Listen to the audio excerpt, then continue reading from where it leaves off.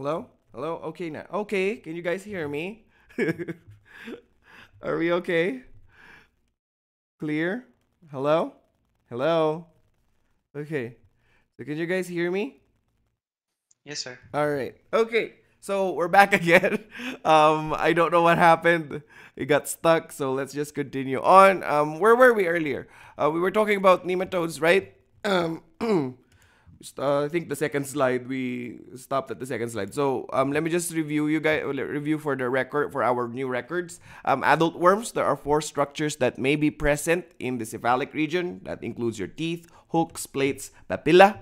Um, the functions are as follows: abrasion, attachment, and sensory response. Okay, sorry. All right. Sir, hindi pa po kayo nakapag-share sa Google Meet. Okay. Yeah, yeah, yeah. I I can see. I can see. sorry, sorry, sorry. Here you go. Is it sharing now? Is it sharing now? Okay. Hindi pa po. Oh, all right. Okay.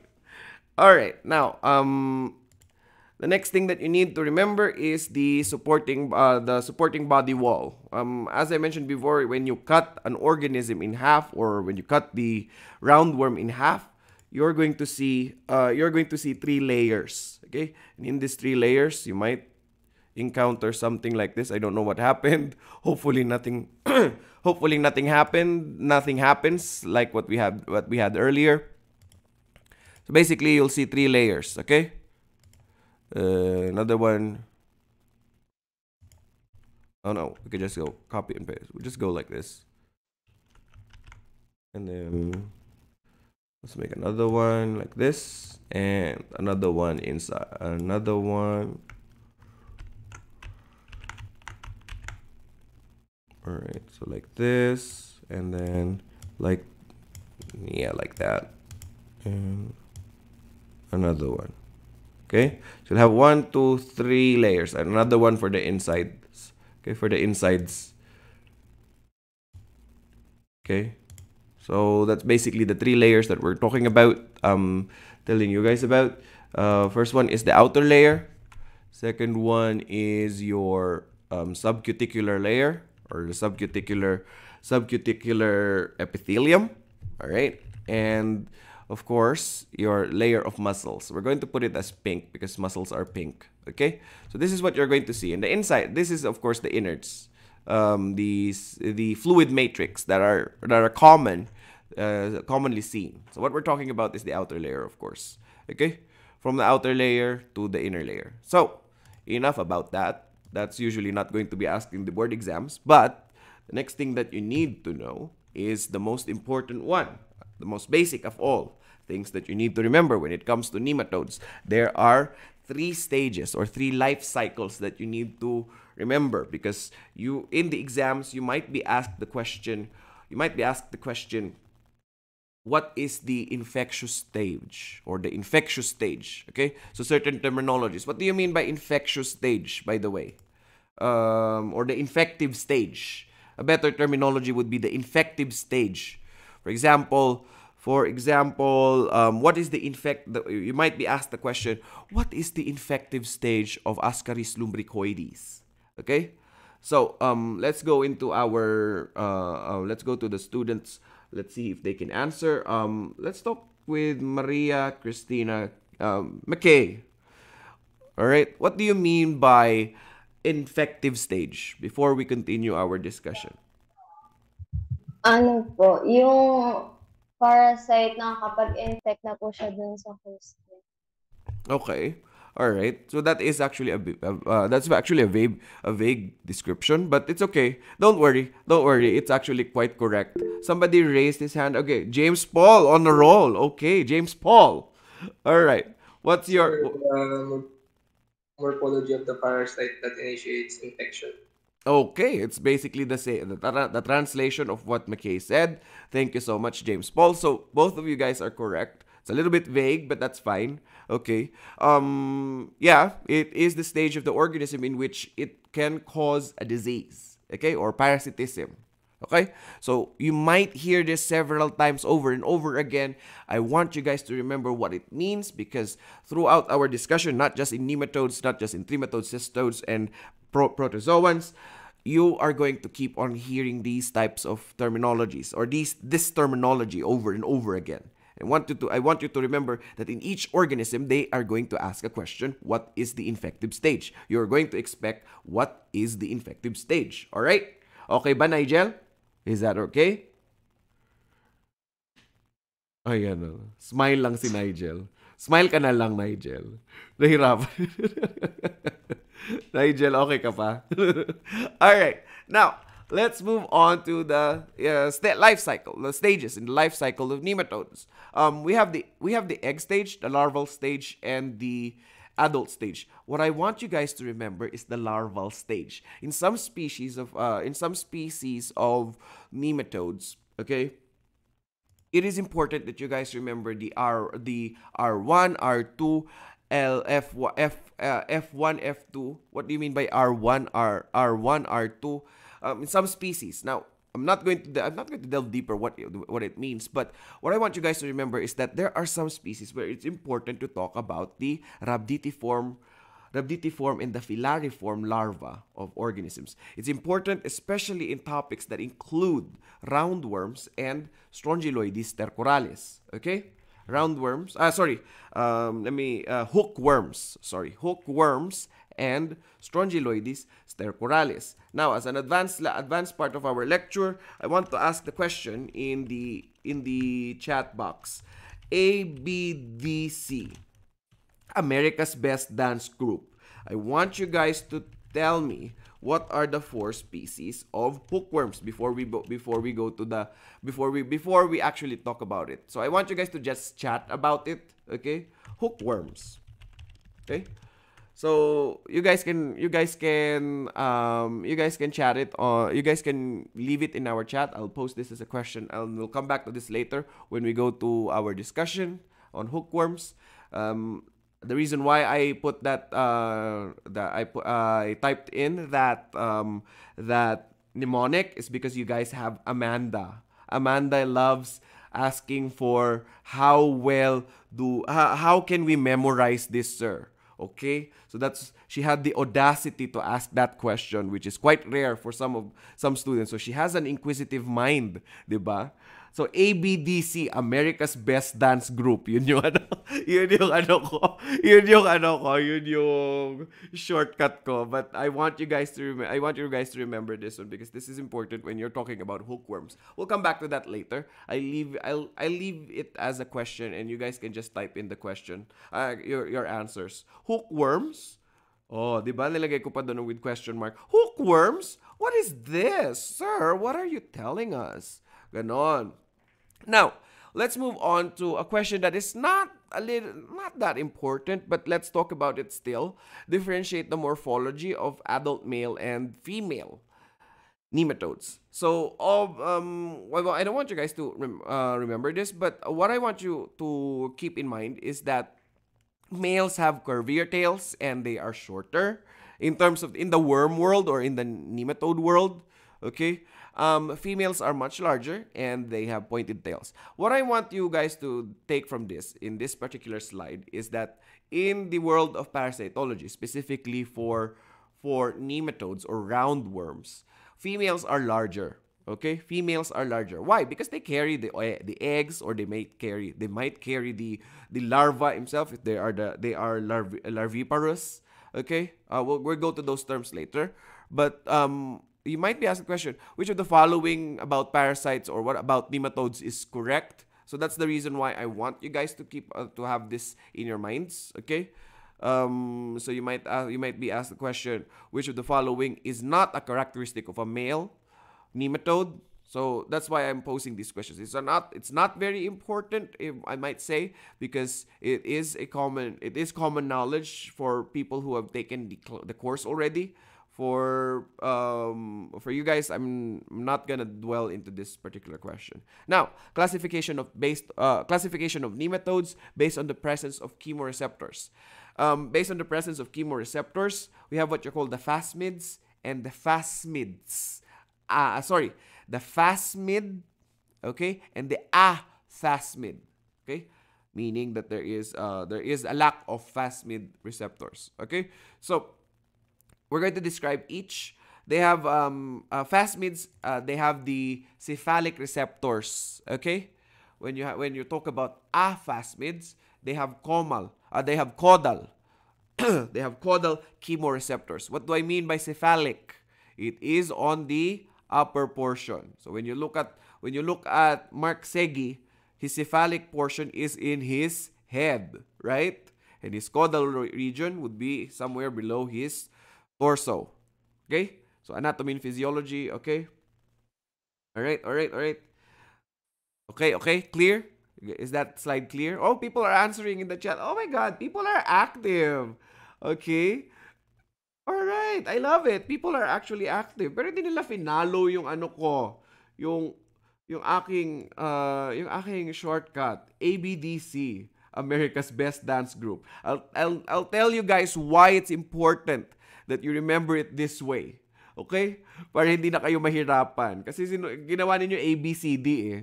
Mamaya, mamaya natin pag-usapan kung bakit bakit important yung ABDC na yan. Okay? Now, let's talk about nematodes with cephalic receptors. So, um, nematodes with cephalic receptors uh, that lack cephalic receptors are known as your um, aphasmids, right? So there are three organisms that uh, among the, there are all organisms uh, all parasites that we're going to talk about right now. Um, are considered phasmids, meaning that they have their cephal, they, meaning that they have chemoreceptors in the cephalic region. But the three, uh, three exceptions to those would be Trichinella spiralis, Capillaria philippinensis, and Trichuris trichiura. Okay? Now, we can classify them based on where what habitats they they they the adult worms inhabit. Eh, for those uh, for TC or um, Trichinella spiralis and Capillaria philippinensis, it inhabits the small intestine, whilst whilst the other one inhabits the large intestine, Trichuris trichiura. Okay? Okay? So, let's go on a little bit deeper to phasmids. Okay? Phasmids that inhabit the large intestine and phasmids that inhabit the tissue. Or sorry, the intestines or the small intestines. And there are phasmids that inhabit the tissue. We're going to talk about hookworms and Strongyloides stercoralis in small in the if they inhabit if they, if they are phasmids that inhabit the that inhabit the small intestines, while phasmid that inhabit the tissue. Can you guys give me examples of tissue nematodes? So again, so thank you for the answers. I love it. Uh, thank you for the answers. Where is Amanda? Amanda is usually the one asking questions about about um about uh, mnemonics. So I, I'm expecting Amanda to be the one who is who is who is leading the, the discussion when it comes to mnemonics. All right, so she's the queen of she's the queen of mnemonics. Where are you, Amanda? Okay. Oh, oh, there you are. Hello, Amanda. All right. Now, um, I want you guys to remember TCT because these are your uh, these are your phasmids and they inhabit uh, uh, these are your aphasmids and then there's other ones which is the phasmids. Um, I don't have a shortcut for that one, but uh, I'm, terribly sorry. But um, organisms that are phasmids that inhabit the tissue will have will be your Wuchereria bancrofti and Brugia malai. Okay. Now let's talk about the egg-laying characteristics of nematodes. One could be or uh, one could be oviparous. Another another behavioral characteristics or egg laying characteristics or egg laying behaviors could be uh, could be one of the egg laying behaviors could be oviviparous and larviparous or viviparous. Okay, so what's the difference between these things? Now, if the organism is oviparous, it lays unembryonated eggs. If the organism is oviparous, the organism the or the eggs that it lays is embryonated. Larviparous, it lays larvae. Okay? All right? So it lays the larva, uh, the larva itself. Okay? So parang caterpillar lang, no? Parang caterpillar lang. May mga eggs, di ba? Ganon. And there's a larva. Ay, hindi pala caterpillar. Yung mga mosquitoes, they have larva. They have the larval stage also.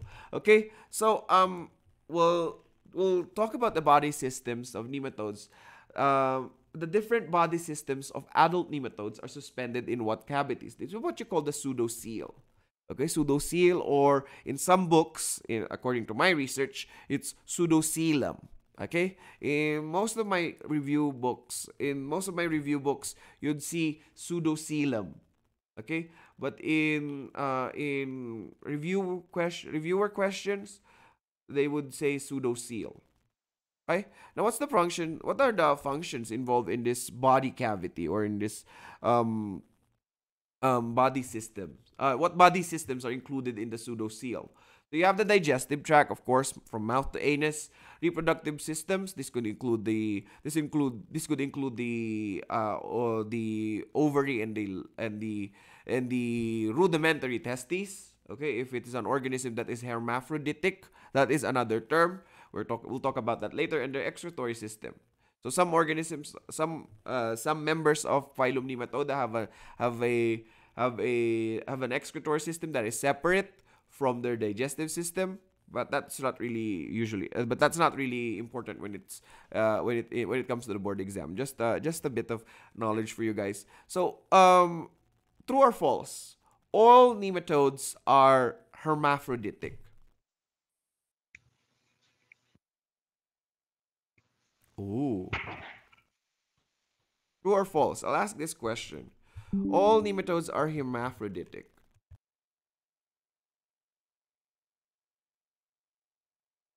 Alright. So because Mark said false, give me an give me an organism that is not hermaphroditic. Give me a nematode, an example of a nematode that is that reproduces sexually.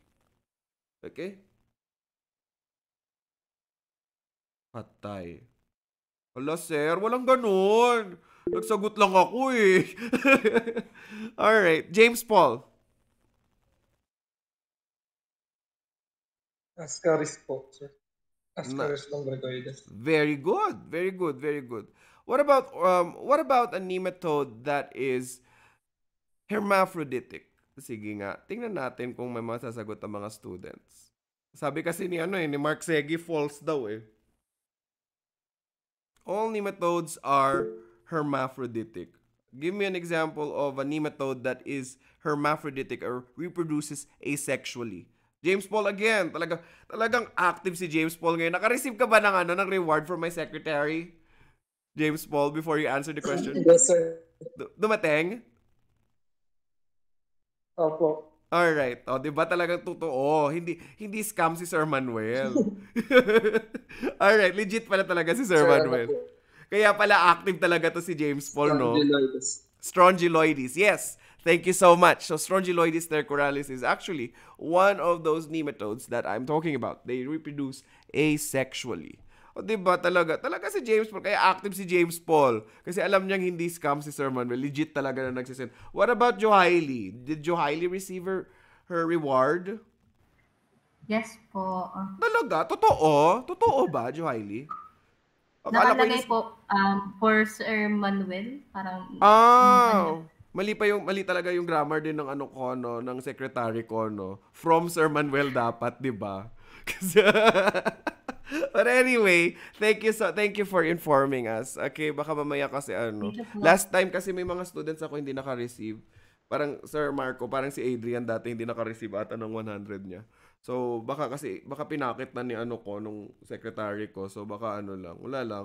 Gusto ko lang i-confirm. Minsan lang naman ako mag-confirm and thankfully she gave the she gave the she, she gave you guys the rewards. All right. Now, uh, this component fulfills the function of the blood in nematodes. Okay, so it fulfills the function of the blood in nematodes. This is known as your hemolymph. Okay, so they don't have bone marrow, of course. All right, they don't have a bone marrow. So of course, they would just have a fluid inside them, and this fluid is is uh, is filtered out through the whole worm's body.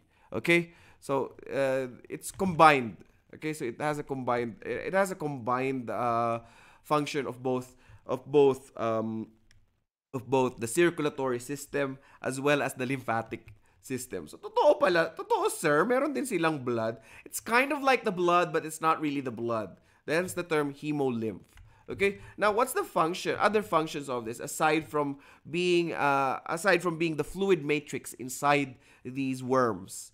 Obviously, they function as the uh, they they function in what you call the hydroskeletal function, meaning that they are capable of motility because of this one. All right. So hence one of their one of the function is locomotion. It maintains the body shape. The reason why it is a it is considered as a worm or the shape of the worm or uh, it, it resembles the shape of a round worm is because of this it's because of this hydrolymph if it if it's not if there if there's no hydrolymph such as such as such as the cases of those uh, of those um, specimens that you might see in the exam room or in the laboratory room in your laboratory classes the ones that are uh, the ones that are immersed in formaldehyde they're already flat, right? So, sir, hindi naman to roundworm, sir. Flatworm na to. Hoy, wag piloso po. Ibang itsura ng flatworm, ha? Nigel, ha?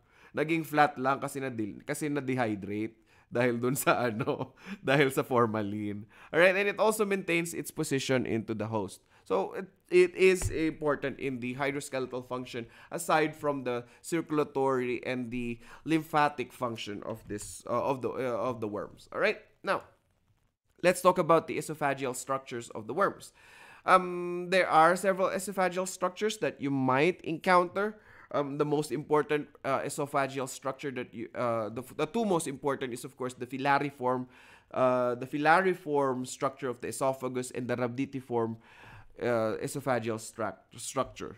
Why? Because it is a commonly asked questions. Filariform esophageal structures are found in Strongyloides cercoralis, while the rhabditiform um, esophageal structures are found in Enterobus vermicularis. Okay? Spiroid, Strongyliform, and Stichosoma are not as important. Okay? Um, most of the time, you would be you would be you might encounter this uh, in the exams. Okay, um, filariform, not to be confused with filariform and rhabditiform larva. The, we're talking about the esophageal structures.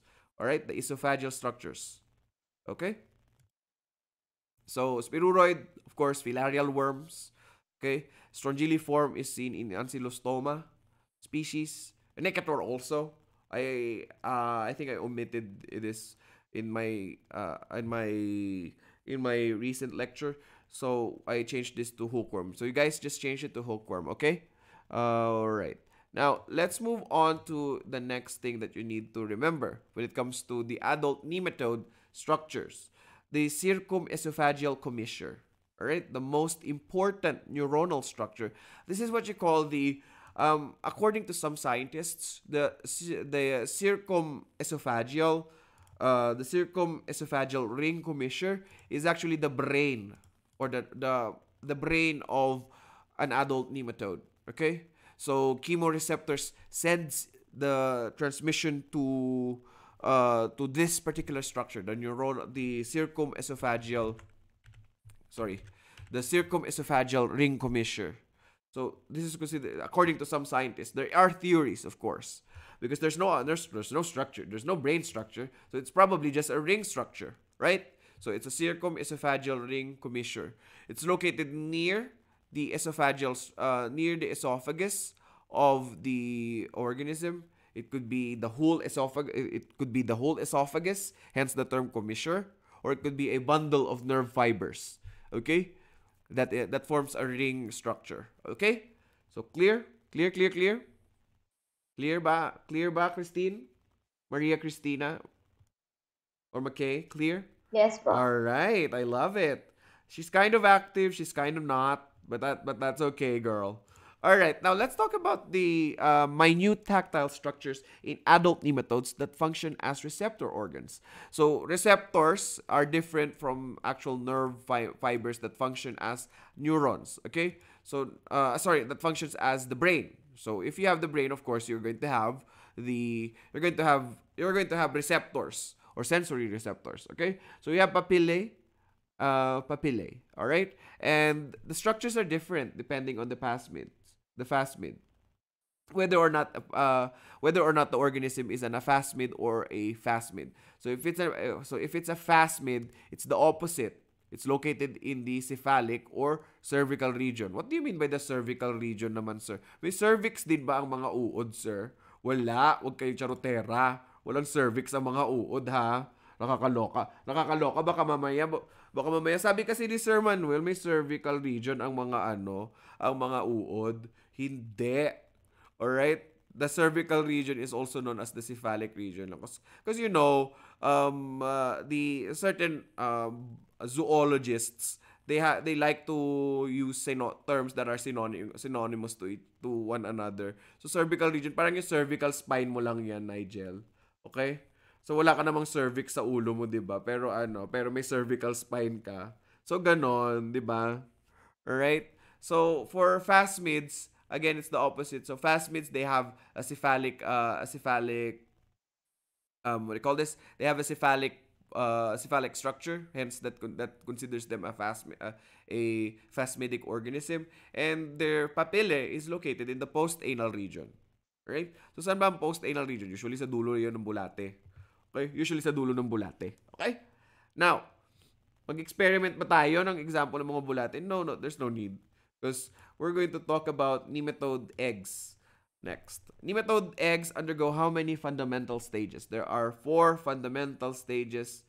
Then they become an adult. Okay? Uh, they undergo fundamental stages. Actually, this is what I told you guys earlier. The R1 rhabditiform larva, R2 rhabditiform larva, F1 filariform larva, and then and then uh, and then the F2 filariform larva. But all in all, all in all, including the adult stages or the sexual stages, uh, is actually just five. Okay, so adult worms undergo uh, uh, uh, uh, an egg stage, and then they would go into larval stages, or larval stages, and then an adult. Okay? So, medyo confusing na siya when we go to flatworms kasi meron pa tayong mga cercaria, metacercaria, yung mga ganon. So, let's make it easy for us and let's di- dissect things one at a time. Okay? Huwag masyadong nagmamadali. Di ba, Jeneline Marzan? No? Huwag masyadong nagmamadali kapag jojowa. Alright? Di ba? Parasitology at bacteriology muna before jumowa. Okay? Hindi ko sinasabi na may jowa ka ngayon, nakatext mo siya ngayon, but, but, uh, all I'm saying is let's just take the lessons one at a time. Similar to our romantic interests. Okay, Jeneline? Pwede mo bang i-promise sa akin yan? Pagpasa ko na sir ng board exam or pagkapasok ko na ng med school, saka na ako mag-ano, saka na ako mag, mag, magjojowa. Bakit pag med school? Kasi wala ka na sa, pag graduate mo ng med school, wala ka na sa kalendaryo, syempre. Dapat doon ka na lumalandi. Mag-practice na kayo ng jowa mo ng ano, ng clinical pres- presentations, di ba? Kaya kahanap ng jowa sa med school. Okay? Ganun ang ano, ganun ang kwento sa akin ng mga friends ko na doktor na ngayon eh.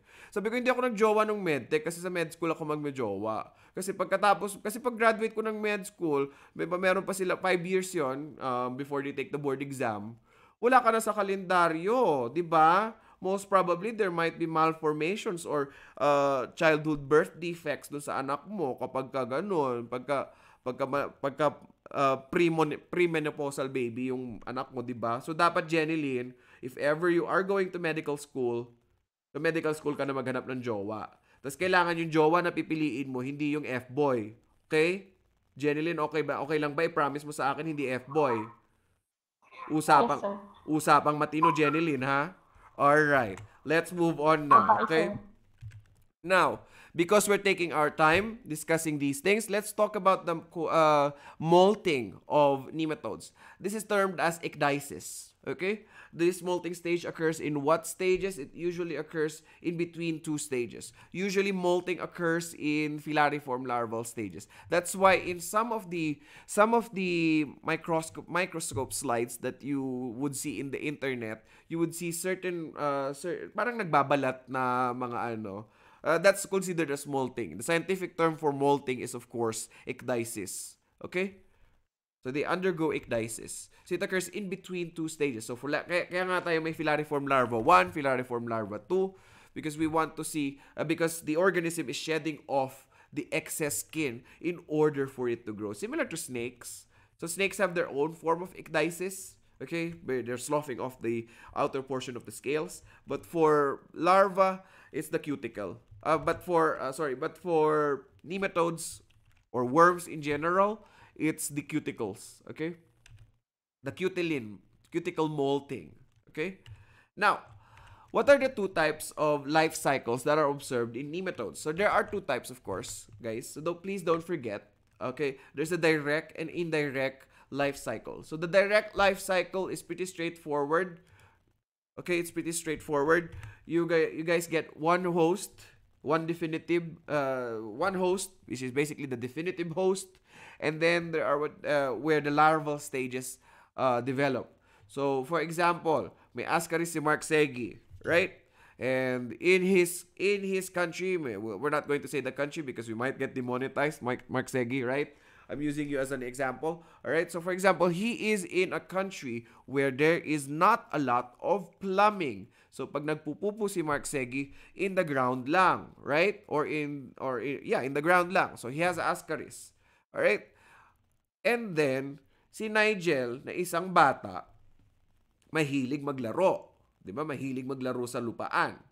Three days ago, three days ago, doon nag doon sa area or doon sa spot na nagpupo si Ni- si Mark, doon naman naglaro si Nigel. 'Di ba? So directly, so she got it directly from Mark Segi. Kumbaga, so that's the direct life cycle. One definitive host lang. Kasi si Nigel yung nakakuha. So siya yung definitive host. Okay? So ang carrier natin or patient zero natin is Mark Segi. Ganon. Alright? Yun yung Mark, yun yung, yun yung Mark Segi. Sorry, Mark Segi. Direct life cycle. Now, for indirect life cycle, we have what you call two hosts. Uh, so we have what you call an intermediate host. Aside from a definitive host, you're going to encounter the term intermediate host. The definitive host harbors the or carries the adult or the sexual stages, while the intermediate host carries the larval stages, specifically the rhabditiform larval stages. Okay? So clear ba 'yon? Clear. Clear. Mamaya ko kayo bibigyan ng example ng mga merong intermediate hosts. Okay? But what I want you to get from this particular slide is the importance of a definitive host and an intermediate host. Clear? Clear, Jenny Lynn? So, kailangan ng future doctor boyfriend mo, alam din ang ibig sabihin. Pag hindi alam, naglolokohan lang kayo nun. Alright, Jenny Lynn? Alright, pag hindi alam ni pag hindi alam ng boyfriend mo, pag hindi alam ng future boyfriend mo ang difference of the two life cycles, i-break mo na kaagad. It's she's not, he is not going to help you out. Wait, wait, baka mamaya maano na naman ako eh. Ma matulad na naman ako dun sa Junakis number 2 ko. Wait lang. Ano tayo? Puro Hindi tayo, hindi tayo Shibuli Bumbumbe ha. Hindi. Hindi tayo Shibuli. Okay, baka mamaya maano na naman tayo, Mark eh. Last time kasi nabigla na lang ako ni ano. Nabigla na lang ako. Eh, ano ko pala? Anak ko pala. Hindi ka naman ganon. Hindi ka Sir, naman. meron din, babae, sir. Ay! Hello! Sorry! Hala, ayun na naman tayo. Ayun na naman tayo. So, gano'n, for example, ayun na naman tayo. Naloka ako talaga sa mga students. Very lit and very ano na talaga kayo. Before, people are not, people, people are not very, anyway, that's enough about that. We have a lot of stuff to talk about. So, we'll talk about your future. Your future partner na lang. Let, partner na lang ang gagamitin ko, Mark, no, sa susunod para hindi na ako maganyan. Every time na lang talaga. Every time. Last year, ganyan din ang nangyari dun sa isa kong student. Alright? Anyway, let's talk about the mode of uh, the attachment, um, the mode of attachment or the manner of attachment of intestinal nematodes. So we could have we could have um, oral attachment to the mucosa, such as the cases of Ancylostoma, Ancylostoma species. We could have the anchorage of attenuated attenuated ends, such as in the cases of Trichuris. We could have penetration to tissue, such as those uh, su- such as the larval forms of strongyloides. Or you could have retention in body folds by pressure, such as in the cases of ascaris. Okay? So they could attach to the intestinal mucosa or okay, they could attach. So sometimes, eh, actually, this is not an attachment but more or less retention. So parang sa sobrang laki ni ascaris, hindi na siya mailabas ng pasyente. Gets nyo? So kailangan surgical methodologies na. Gets? So this is this is how the organism stays in the body. So hindi lang siya basta pwe- basta-basta pwedeng itae, okay? Guys, ah. Alright? Hindi, mo, hindi lang siya basta-basta pwedeng ipupo. Okay? Alright? Okay? So, uh, because maybe it could be like, uh, it could be ascaris. It's too big. It won't go out. It will not get out of the body folds. Yung intestinal folds, rather. Alright? So, it could be anchored like trichuris, trichura, or whipworms, or attenuated ends. Or it could be, it could attach itself, it could attach itself orally into the mucosa. Okay? Now, let's move on to, let's move on to the next one. Methods of obtaining food. All right, methods of obtaining food or the manner at which the organisms obtain food from the host. Because we're talking about parasitology, of course, we're going to talk about what's the most important thing about parasites. Why do we, why does an organism parasitizes an organism? Because we want, they want the benefit from that organism without actually become, without being actively involved, right?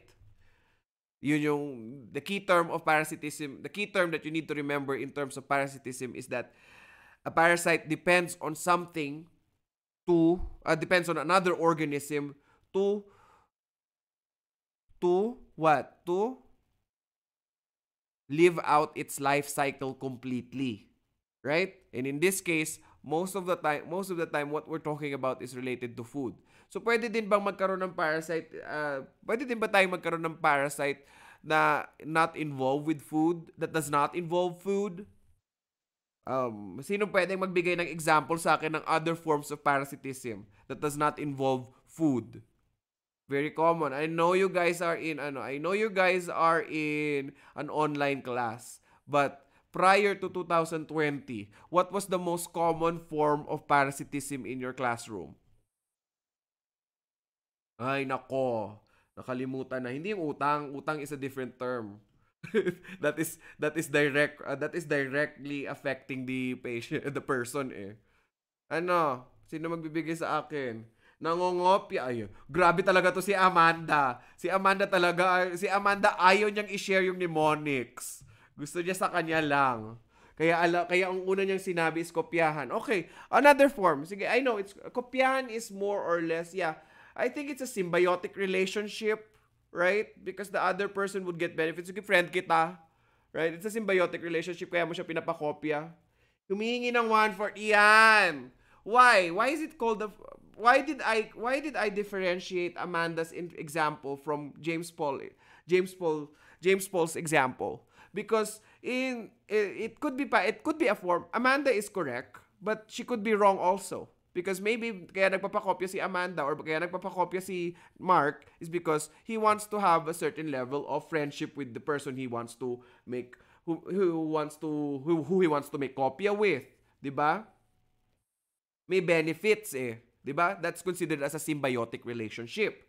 Pero yung nanghihingi ng one-fourth, nabawasan si James Paul ng one-fourth, wala naman siya naging benefit. Ni thank you nga, hindi nyo binigyan ng thank you si, ano, si James Paul. Di ba ganon? Ganon ang parasitism. Without any benefit to the other, to the host organism. Gets? Gets? Gets? Gets?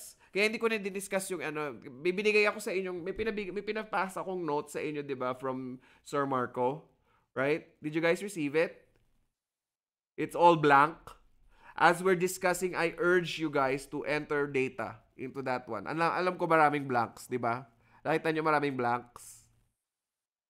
It's all derived in this in this slideshow. Okay? And would you believe it?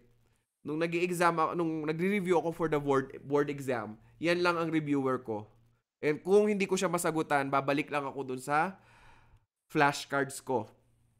Kung hindi ko masagutan ng isang blank, babalik lang ako sa isang flashcards ko. And yun lang pabalik-balik. And would you believe it also that students of mine who are reviewing with who are who I've been teaching also relied on those things to review for their parasitology. I think 14 pa- 14 pages, right? 14 pages. I'm not sure if it's 14 pages kasi may updates ako diyan. 14 pages ata or 13 pages, I'm not sure. Parang in-update ko siya kasi parang ano, every year in-update ko siya. So for intensive review purposes, I urge you guys to fill out the uh, fill out the blank in that form. Fill out the blanks, right? There's a lot of blanks because kopya can benefit both uh, can benefit the two people. All right, thank you Amanda for that discussion. All right, so how do they get how do they get their food? They could either suck the blood, as in the case of as in the case of hookworms, right? They could all they could ingest lice tissue or blood if the patient of course is already bleeding from the inside. They could feed from intestinal content or they could feed on the nourishment from body fluids as in the cases of tissue nematodes, right? So they can suck the blood directly. Kung katulad ka ni hookworms, yung talagang bubutasin yung bubutasin yung intestinal wall mo. Or for example, you're already bleeding on, from the inside from the attachment of the larva or the filariform larva and you get lice tissue or blood then that is considered also as form of as a form of acquiring the, the nutrients and intestinal content uh, feeding on intestinal content as in the case of ascaris lumbricoides because the only time ascaris can penetrate through parts of the body is in its larval stages okay? The the organism the adult worms usually stay in the intestine for quite some time and they don't travel around. Hindi sila makulit unlike yung other organisms that we're, we're going to discuss later. Now, let's move on to another thing about nematodes. Examples of intestinal nematodes. Ayan na ang intestinal nematodes. I, I want you to remember for, for organisms that inhabit the small intestine. Amanda, are you listening? Are you there? I need you to listen to this because this is again another example of of your of mnemonics. Okay, Amanda, I want to see your face when you're listening Yes, also. sir. Okay, Amanda. Kasi gusto ko makita yung reaction ni Amanda eh. Sorry. Alright. So, I want you guys to remember the word cash. Okay? Cash. Because these are the organisms that inhabit the small intestine. So, I'll just write it as SI. SI. Nematodes that inhabit the small intestine is cash. Alright? And then, don't forget the word te also. Parang, parang ano, kapag we're talking about the habituation or the habit, the habitat, uh, the habitats of the adult worms, we're talking about the adult worms, ah, not the larva. Okay? So, cash includes organisms that in, that uh, that inhabit the small intestine, and te are those organisms that in, that inhabit the large intestine. Okay? Okay, okay? So we're going to omit tissue nematodes because I don't want you guys to get confused. So we we were we will only discuss six nematodes today that are commonly asked in the board exams and in most of the exams that you're. So anong shortcut natin? Cash te? Wala akong pera? Cash te? Kailangan nating malaman kung ano yung small intestine, ganon. So ano ba yung ibig sabihin ng cash te? Sige nga, sige nga, sinong magaling dito? Baka, aside from James Paul, I know James Paul will already answer. Maria Cristina Sabado, what is cash? Capillaria ascaris strongyloides form. Very good. What about te? Um, Enterobius trichonis. Very good. Very good, very good, very good. So, cash te. Di ba? Alam nyo na. Di ba? Kulangan ng E. Okay? Sorry. Mark Segi ha. Paki ano na lang. Yung E. Paki note na lang. Alright? Yung E. Alright. Now, let's talk about an extra-intestinal organisms or en- extra-intestinal nematodes. Again, this is a high yield, a high yield, um, sorry, na ma- medyo napipiyok-piyok pa si sir kasi nga he's undergoing puberty. All right? Um extra-intestinal nematodes. Let's talk about extra-intestinal nematodes. So when we say extra-intestinal, these are the adult worms don't stay in the in the where? In the gastrointestinal tract, right? Or specifically the intestines. All right? So it's neither the small nor the large intestines. Okay, so examples of those would be your would be your Trichinella spiralis, filarial worms, Dracunculus medinensis, Angiostrongylis cantonensis. Okay, so we're not going to we're not going to delve deep in Angiostrongylis can- cantonensis, but we're going to discuss it as well. But, but don't worry, we're going to discuss it also. All right, so um, let's go and talk about the habitat of each. Trichinella spiralis is the is the mussels, filarial worms, Loa loa, Brugia malayi, and um, Onchocerca volvulus, uh, Mansonella species will be in the lymphatics. Um, Dracunculus medinensis will will go around several places in the body, specifically different tissues. So generally, it's a tissue parasite. And Angiostrongylis cantonensis is in the brain. All right. So, so totoo, meron palang brain parasite. Yes, there's a lot of brain parasites. Okay? Actually, in the exams, you might encounter the question which of the following does not involve does not involve CNS infection. So you might have Naegleria fowleri, all right?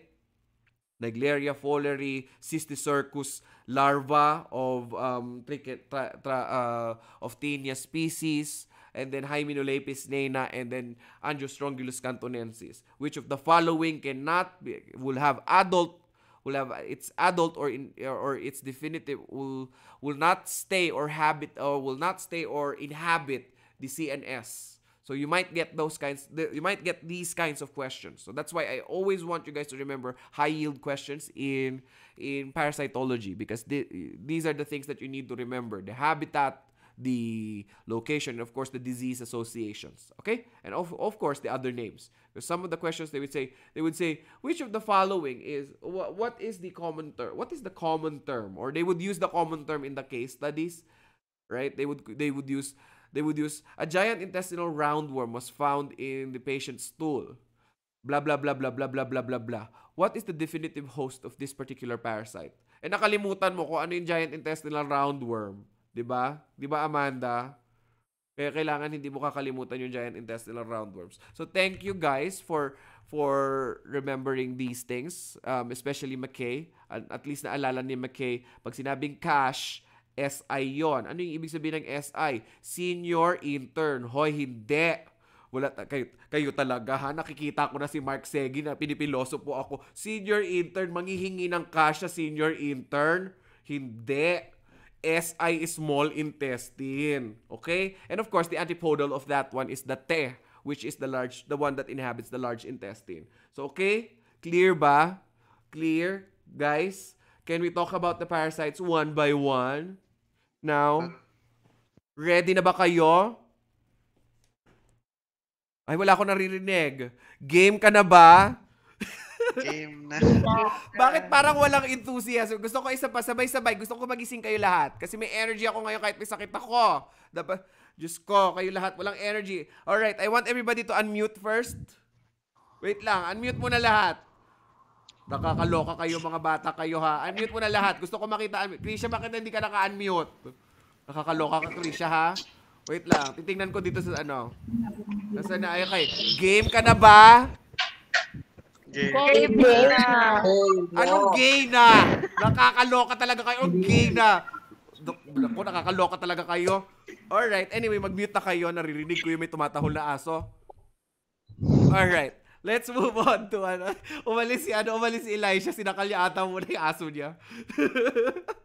Alright. Biglang nawala si ano eh. Biglang nawala si Eliza eh. Alright. Thank you. Thank you for the participation. Talagang active talaga kayo. Natutuwa ako. Alright. Okay, so now we're going to talk about Ascaris lumbricoides. Alright?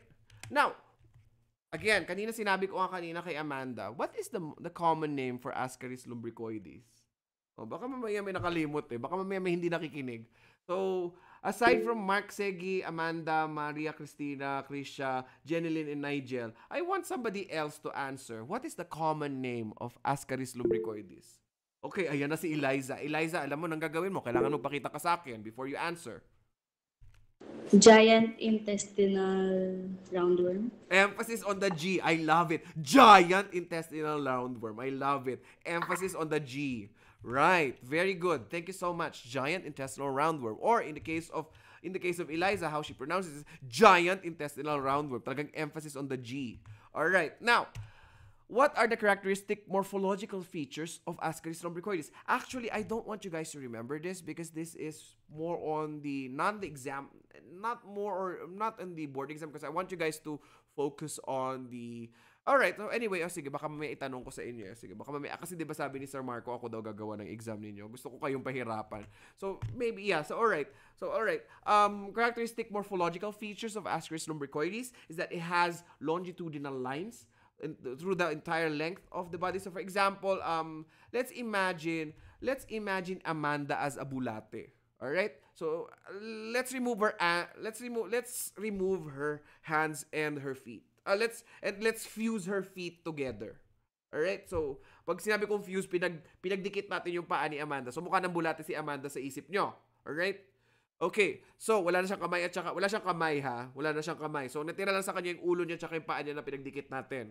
Alright? Eh, Depende kung anong gusto nyo gawin. I-duct tape nyo si Amanda or whatever. Alright?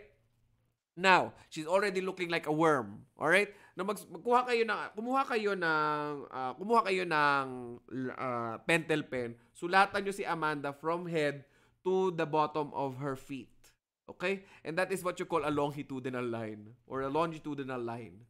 Alright? So, yun yung, yun yung example. Kasi wala tayong pictures. Bakit gusto ko i-discuss ang, uh, actually, in my discussions in parasitology, mycology, and virology, I don't have pictures. Why? Aside from not, aside from being, aside from being demonetized, okay, uh, my main concern is, I, I want you guys to use your imaginations, especially in the board exams. In the Philippine board exams, walang pictures, okay? In the Philippine board exams, walang pictures. Sa AACP, sige, baka meron. Pero in this case, in the case of uh, the Philippine board exams, syempre, before you take the board exams, you have to, uh, before you take AACP or any type of, uh, or any type of licensure examination outside the country, you have to pass the PRC license examinations, of course. Alright? So, wala mo ng pictures ako dito. Talagang hindi ako nagbibigay ng pictures and I choose to do that. Okay? Um, trilobate lips is also another feature. So, imagine ninyo yung dalawang labi ni Amanda, naging tatlo yung labi niya. So, walang top and bottom lip. We have the bo- two bottom lips and one upper lip. Okay? Two bottom lips and one upper lip. So, parang naging clover yung itsura nung labi ni Amanda. Nagets nyo? Ayan o, umanganga na si Amanda class. So, pwede na i-imagine nyo na. Ayan. So, ganon, di ba? So, umanganga si Amanda kanina. Tinakpan ni Amanda yung labi niya. okay. Alright. So, clear? It's clear?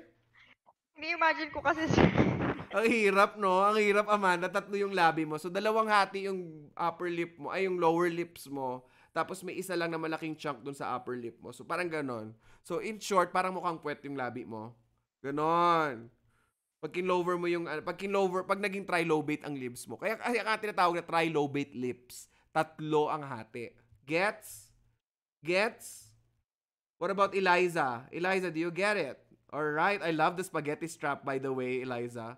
Thank you so much for entertaining us with skin. I love it. Now, let's move on to the uh, three layers of Ascaris lumbricoides ova. Uh, we have the vitelline layer, the glycogen layer, and the mammillary or the albuminous layer. All right. So let's start from the innermost layer.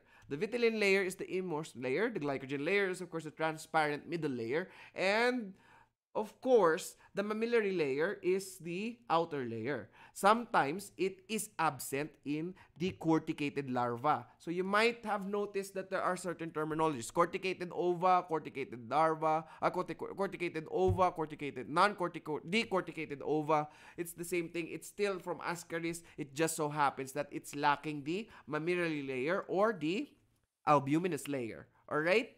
Clear? clear with the layers of the Ascaris lumbricoides ova.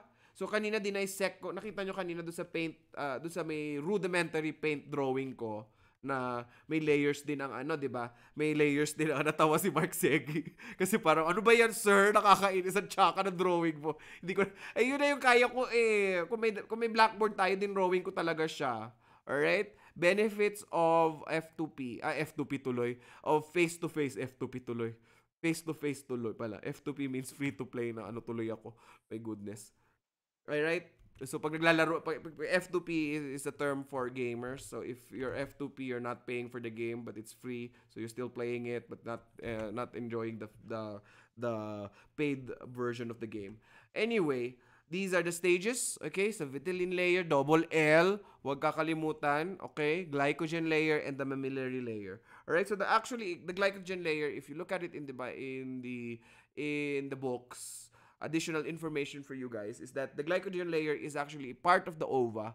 Is not actually part of the ova, but rather but rather added to the ova to provide nutrition to the growing growing uh, to the growing larva inside. Because there's a larva inside right? Um, it needs to grow. And the energy source is of course the glycogen layer. All right? Now, let's talk about the infective stage of Ascaris lumbricoides. Let's go back to your review. I know this is a review class and I'm supposed to be the one speaking so much, but this is something that you will need to understand from my perspective. Ah, hindi pwedeng hindi nyo alam to. Kasi if you don't know this, especially Ascaris lubricoides, I would rather you go back to third year and study parasitology again. What is the answer to the first bullet? Maria Cristina kay Sabado. Okay. Embryonated egg po. Ang Bernard. ano te? Ulit, ulit, ulit. Embryonated egg. Naloka ako mga Bernard. nagra-rap to. Girl, nagra-rap. Huwag ka mag-rap, te. Ka- Kaloka ka ha. Embryonated egg is correct. And, of course, are there uh, non-embryonated eggs? Alright, what does an embryonated egg look like and a non-embryonated egg look like? Or an unembryonated leg, egg look like? Mark, your Mark. You're, you're, saying, you're sir, nodding yung- your head. Yung embryonated egg, yung corticated, yung decorticated, yung unembryonated. Sabi ni, yung itsura ni Nigel pag sure ka dong. Ganun yung itsura ni ano, yung itsura ni, ni Nigel pag sure ka dong. Sure ka? O, ayan din si ano, oh, ayan din si ayan din si James Paul pag sure ka dong. Ayan na si James Paul. James Paul, give Oh. me give me your give me your thoughts. Sir, meron pong larva inside. All right. Very good, very good, very good. There's an embryo inside. There's a clear embryo inside. And when do you usually where do what samples do you usually see the embryonated version? Ayan na, wala na ang mga student. Ayan na, o sige, go. Sige, what samples? James Paul daw. Soil po. Soil sample po. soil sample, talagang talagang binobonggahan ngayon ni James Paul talaga. Talagang ini-impress ako ni James Paul. Parang gusto kong mag-send ulit ng 100 kay James Paul. Parang gusto ko na lang sustentuhan si James Paul ngayon. Kasi lagi na lang si James Paul ang sumasagot. Nasaan na ba ang ibang students? Diyos ko, parang gusto ko na lang pag-aralin si James Paul ng medtech. Kasi hindi sumasagot ang student, hindi sumasagot ang ibang students. Kayo talaga ha? Alright. Okay, now, the infectivity is because of what you call the process of embryonation. Alright? Which occurs in the soil. Alright? It, occur, it occurs in the soil. So, hindi ka maka, hindi maka-infect yan kung galing yan sa may pupo ni ano. Kung galing lang yan tapos ano, kung galing lang yan sa pupo ni, sa, as, a- as my example earlier, kung galing yan sa pupo ni, ni Mark Segi tapos wala namang soil, wala, hindi ka maka-infect yan, Nigel, ha? Alright? Kung naigit yan si ano, kung naigit yan si Mark Segi, Nigel, tapos naglaro ka dun sa may ano, kina, dun sa may soil, dun sa may, may, may, soil na area, dun ka pwedeng ma-infect kasi it requires embryonation. Alright? Okay? Alright. Now, what is absent in the decorticated Ascaris lumbar egg, uh, Ascaris rubicoide egg is the mammillary layer. As is correct. That is correct also, Mark Segi. Thank you for answering that one. Thank you, James Paul and Mark Segi. Nasaan ang mga girls? Bakit hindi humahabol ang mga girls? And speaking of girls, where's my main girl? Nawawala ang main girl ko. Tahimik ang main girl ko. Nandyan ba siya? Or absent na naman? Wala siya. My God. Yung isa, yung isa kong anak. Wala din yung isa kong anak. Alexis Vill- Ayan, nandiyan pala si Alexis. Alexis, where are you? My gosh. Alexis. I missed you, anak. Alright? Now, in the life cycle of Ascaris lumbricoides, the ova hatches on what part of the human body? Re- Review ulit tayo. Review, review, review. It hatches on what part of the human body? The large intestine, the, the stomach, or the or the small intestine? Oh, yan na may choices na kayo. Sinong pwedeng sumagot? Small intestine according to Eliza. Let's see if it's correct. This event results to the larval migration to what organs? Of course, it will go to the intestinal wall, blood vessels, liver, lungs, alveoli, and then bronchioles, pharynx, and then the small intestine again, where they mature into adults. Okay? So, where is she correct? Is she correct? Her answer is actually correct. It is in the small intestines. Okay? Small intestines. Alright? Kaya wag niyo kakalimutan si cash. ba? Huwag niyo kakalimutan yung cash, te. Alright? Kasi yun yung pinaka-high yield sa lahat ng high yield na ibibigay ko sa inyo. Cash, te. Alright?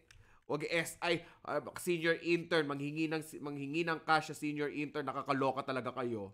Alright? Nakikita ko na ngayon, ngayon pala nakikita ko na sini, pinipiloso po ako ni Mark Segi, kaya inuunahan ko na. All right. Now, let's move on to conditions associated with um with Ascaris lumbricoides. Um, um, infections with unembryonated pre- uh, unembryonated ova present in the stool of patients. So, for example, there is no ascariasis infection. The patient just obtained it from some uh, from some unknown reason. We don't know where. Maybe maybe trip lang niyang kumain ng EBAC, 'di ba? Hindi ko alam, 'di ba? So, pwede ba 'yon? Yes, you can get it. You can you can get this one. Another thing, another reason would probably be there would probably be because he has been infected with ascariasis. Okay, and the lastly is uh, is an all male infection. Alright? An all male infection. So the ibig sabihin hindi nag hindi nag mature ang organisms. Na stress na, nandun lang siya, unembryonated lang ang ova present sa stool. So usually it's a combination of embryonated ova, unembryonated ova and unembryonated ova. Okay? So usually ganun ang infections ni talagang ascariasis. Okay? So in the case of in cases of where patients have obtained uh, um have majority uh, majority of the time they would have uh, they would have unembryonated ova in the stool. These are the probable causes. Wala talaga siyang ascariasis infection. Nakain lang niya. May nakain lang siya na mayroong contaminated ng pupo. At saka may ova. And it just so happens we have to we happen to catch it in the microscope. Or the patient has early ascariasis. Or there's an all-male infection of ascariasis. Okay? So unembryonated ova usually will be present majority of the time. Now, larval, larval, larval tuloy. Nahawa ko kay, nahawa ko kay ano, sorry, nahawa ako kay Makay. Sorry, Makay. Larval migration to the lungs, dapat yan. Bata pa ako nung ginawa ko to, kung hindi ko alam yung mga prepositions ko. Larval migration to the lungs of Ascaris lumbricoides is characterized by what?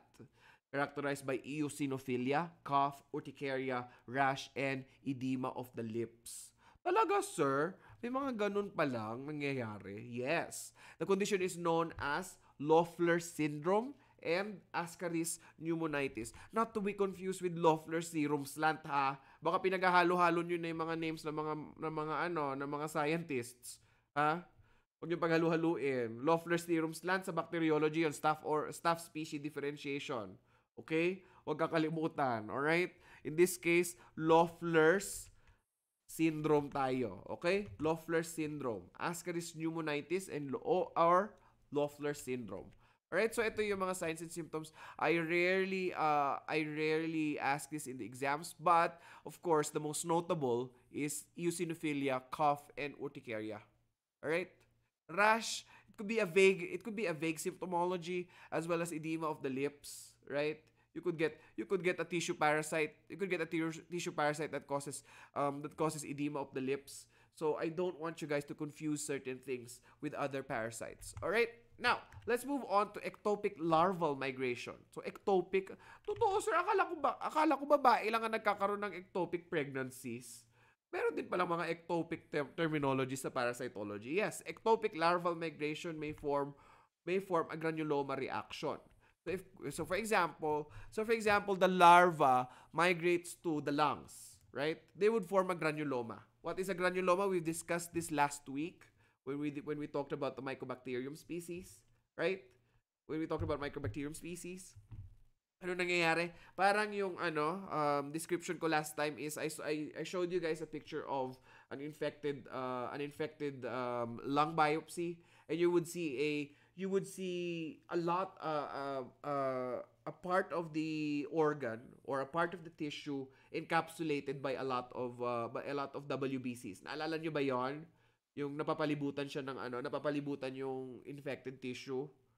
'Di ba? Ganon ang nangyayari kasi nagkakaroon ng granuloma formation. So what is a granuloma? Let me give you guys a brief description. Granuloma is yung hindi mapatay ng immune system mo.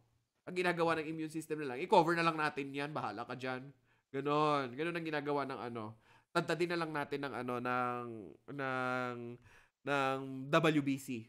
So usually when you look at it histologically, ay, may granuloma ka agad. Pag sinabing, ay, may granuloma kasi na- na-encapsulate siya ng WBC. So yun nangyayari dun sa mga larva. For example, nagpunta sa larva ni, ah, sino ba yung example ko kanina ng mga nagkainan ng pupo?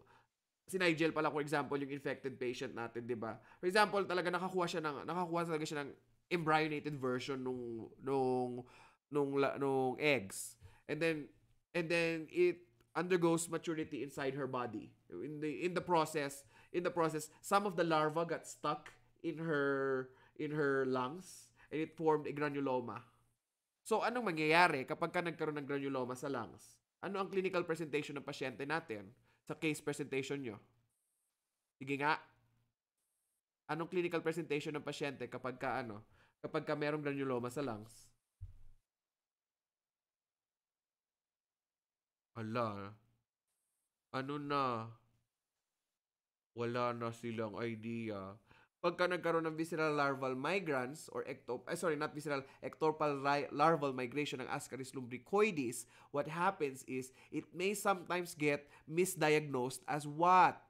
Sa radiologic studies kasi makikita na may granuloma formation. 'Di ba? So pag tiningnan sa x-ray, ay, parang may TB to. 'Di ba? Ganon. 'Di ba? So for example, ganito na kayo ngayon. Class, bibigyan ko na kayo ng example ng parang parang ano, bigyan ko na kayo ng patikim kung paano ako magbigay ng questions. Case presentation. Patient patient was uh, was uh, was admitted to the uh, in uh, the inpatient department of the male ward with the following with the following with the following initial assessments. Um, hemoptysis, Patay tayo dyan. Sir, gumagamit ka din ng mga ano? Gumagamit ka din ng medical terminologies? Yes, gumagamit ako ng medical terminology. Hindi ko sasabihin, coughing of blood. Anong kaguluhan yan? Lagay ko hemoptysis.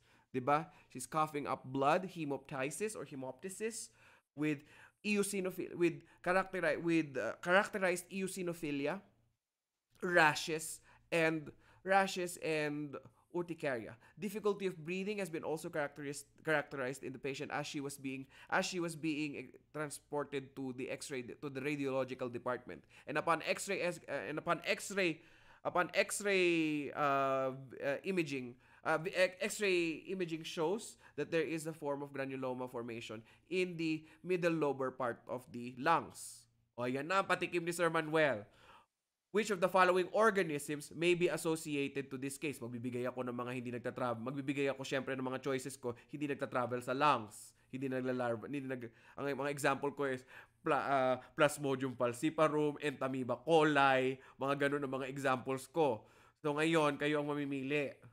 'Di ba? Or medyo guguluhin ko ang buhay ninyo.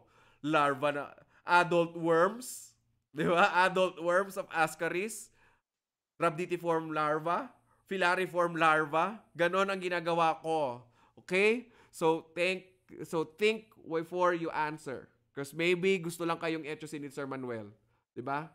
So ganon ganon ako magbigay ng example. I never give common terminologies if, if I if I can do it. Pag hindi ko alam yung terminology, swerte ninyo. Pero may maki, ma- makikita nyo, meron pa ako mga question na may mga myopia ang patient. Ganon. Para sa ethology. Naging far sight, naging near sight, nagka, nagkaroon ng visual impairment ang pasyente, ganon. Hindi ko lalagay visual impairment, ilalagay ko myopia. Ganon. Okay? So, kailangan familiar din kayo because in the exams, ganon din ang terminologies na ginagamit ng mga examiners natin. So, for example, wala talaga kayong, wala kayong good foundations, you will not be able to answer my, answer my case presentation. And ang case presentation ko, ang dami pang follow-up question. Related to question number one, which of the following samples will be the most will be the most ideal in this particular case. Biopsy, stool sample, blood sample, peripheral blood, uh, blood sample collected from EDTA, blood sample collected from heparin, lithium heparin. Mga ganon. May follow-up question pa yon.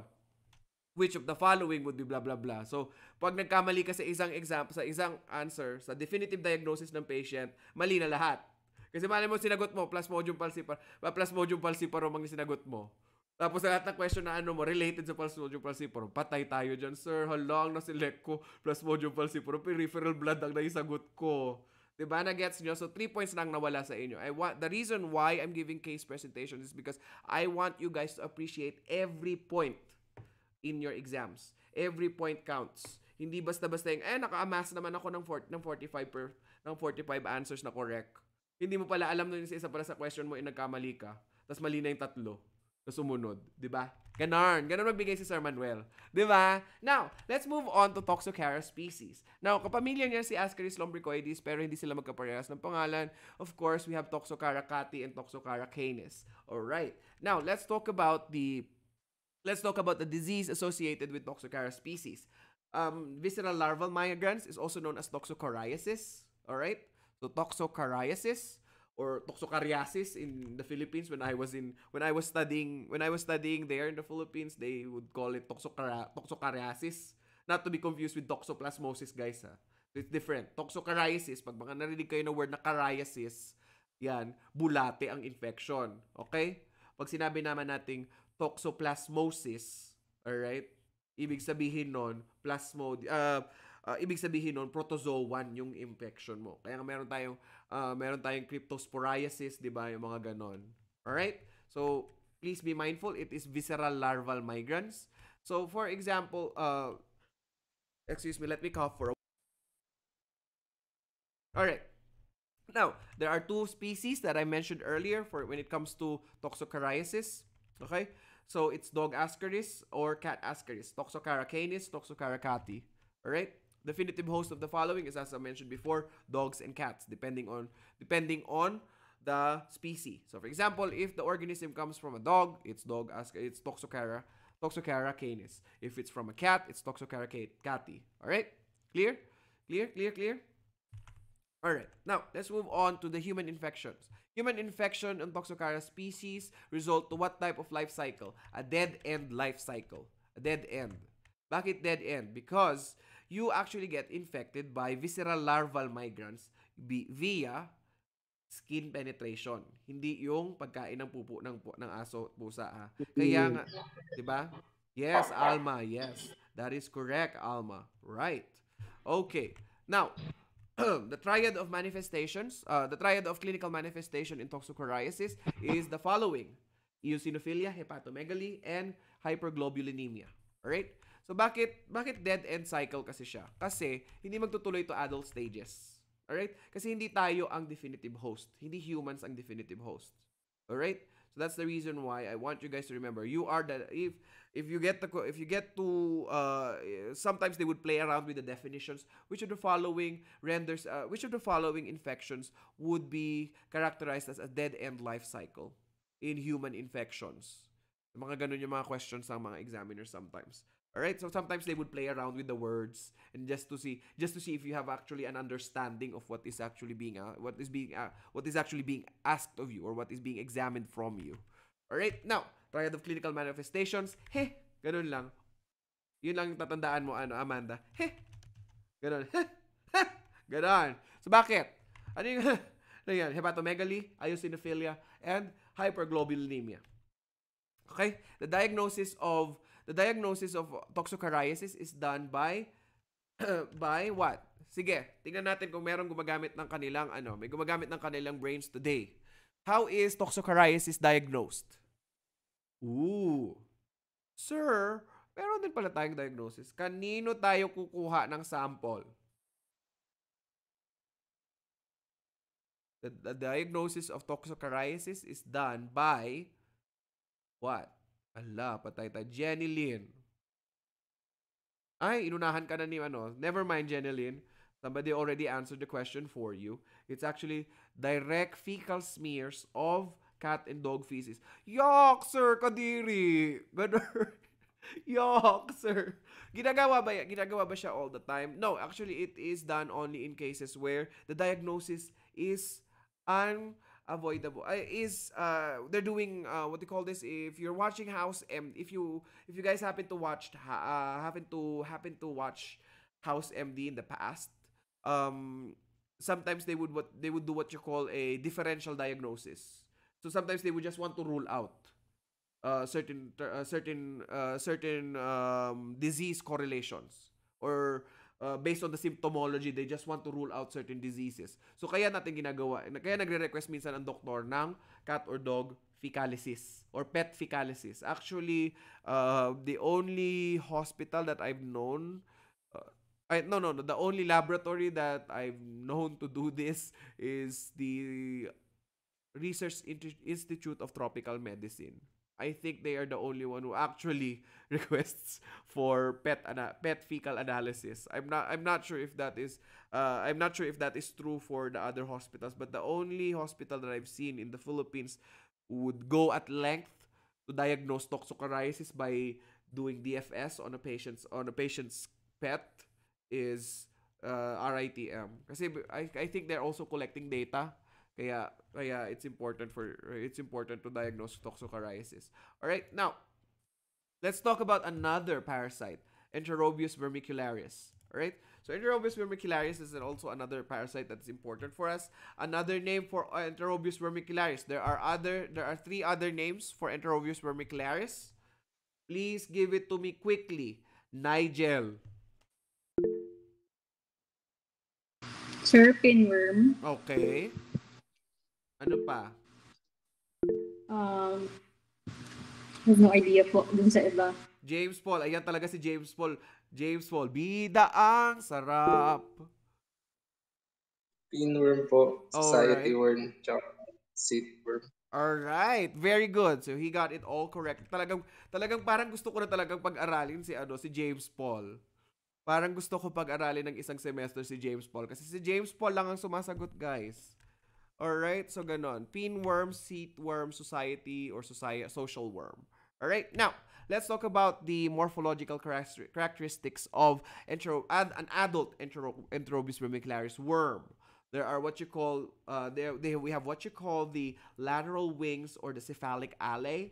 Alright, in a lot of the exams that I've noticed, even in the ASCP, again, put a star on this one. Alright, please put a star on this one because this is important.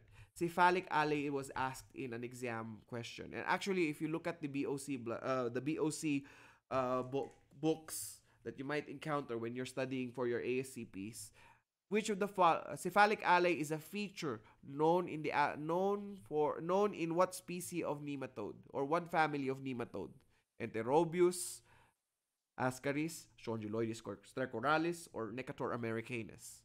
So ganun yung ano, ganun yung questions nila. The cephalic alae is a feature commonly seen in which of the in the adult worms of the which of the following parasites. Ganun yung ganun sila mag-question. Okay? So I want you to put a star on this because I know I've seen this in the board of certification or the BOC when you are taking the board exam for the for for uh, when you're taking the when you're taking the um, AACP examinations, you might be asked this question because I see I saw it in their test bank. Okay? Now, um, another thing that you need to remember is the esophageal bulb. It's not bulb, okay? So please change, uh, guys. Please change it because you know I was young when I was making this exam. It's supposed, uh, these these flashcards. It's supposed to be exa- um esophageal bulb. Let me change it. Let me change it. Can I change it here? Oh no, no, I can't change it because I'm doing a slideshow. So esophageal bulb. All right. So may esophageal bulb din pala sila, sir. All right. Now let's talk about the habitat of adult pinworms habitat of adult pinworms. Oh, sige, Maria Cristina Sabado, habitat of pinworms. Kasi sagot mo kanina yung cashte eh. Ano yun? Ano yung ano? Ano? Saan ang habitat ng pinworms? Small or Small large? intestine po. Small intestine? Ay, gosh. Oh. 'Di ba? Ayan na nga ba? Ay, nakalimutan Large. niyo na ka. Ay, naku, nakakaloka ka talaga, Christine, ha? Ano to? Anong LI? Sir, Leadership intern. Leader intern. Kayo talaga, Secum colon large intestine. Very good. Oh, 'di ba? Kumpleto si Maria Orquiza. Now, let's move on to characteristic morphological features of the pinworm. In the Philippines, you will be asked this question. Um, characteristic morphological structure or morpholo- morphological characteristics or the pathognomonic morphological features of pinworms. Ano?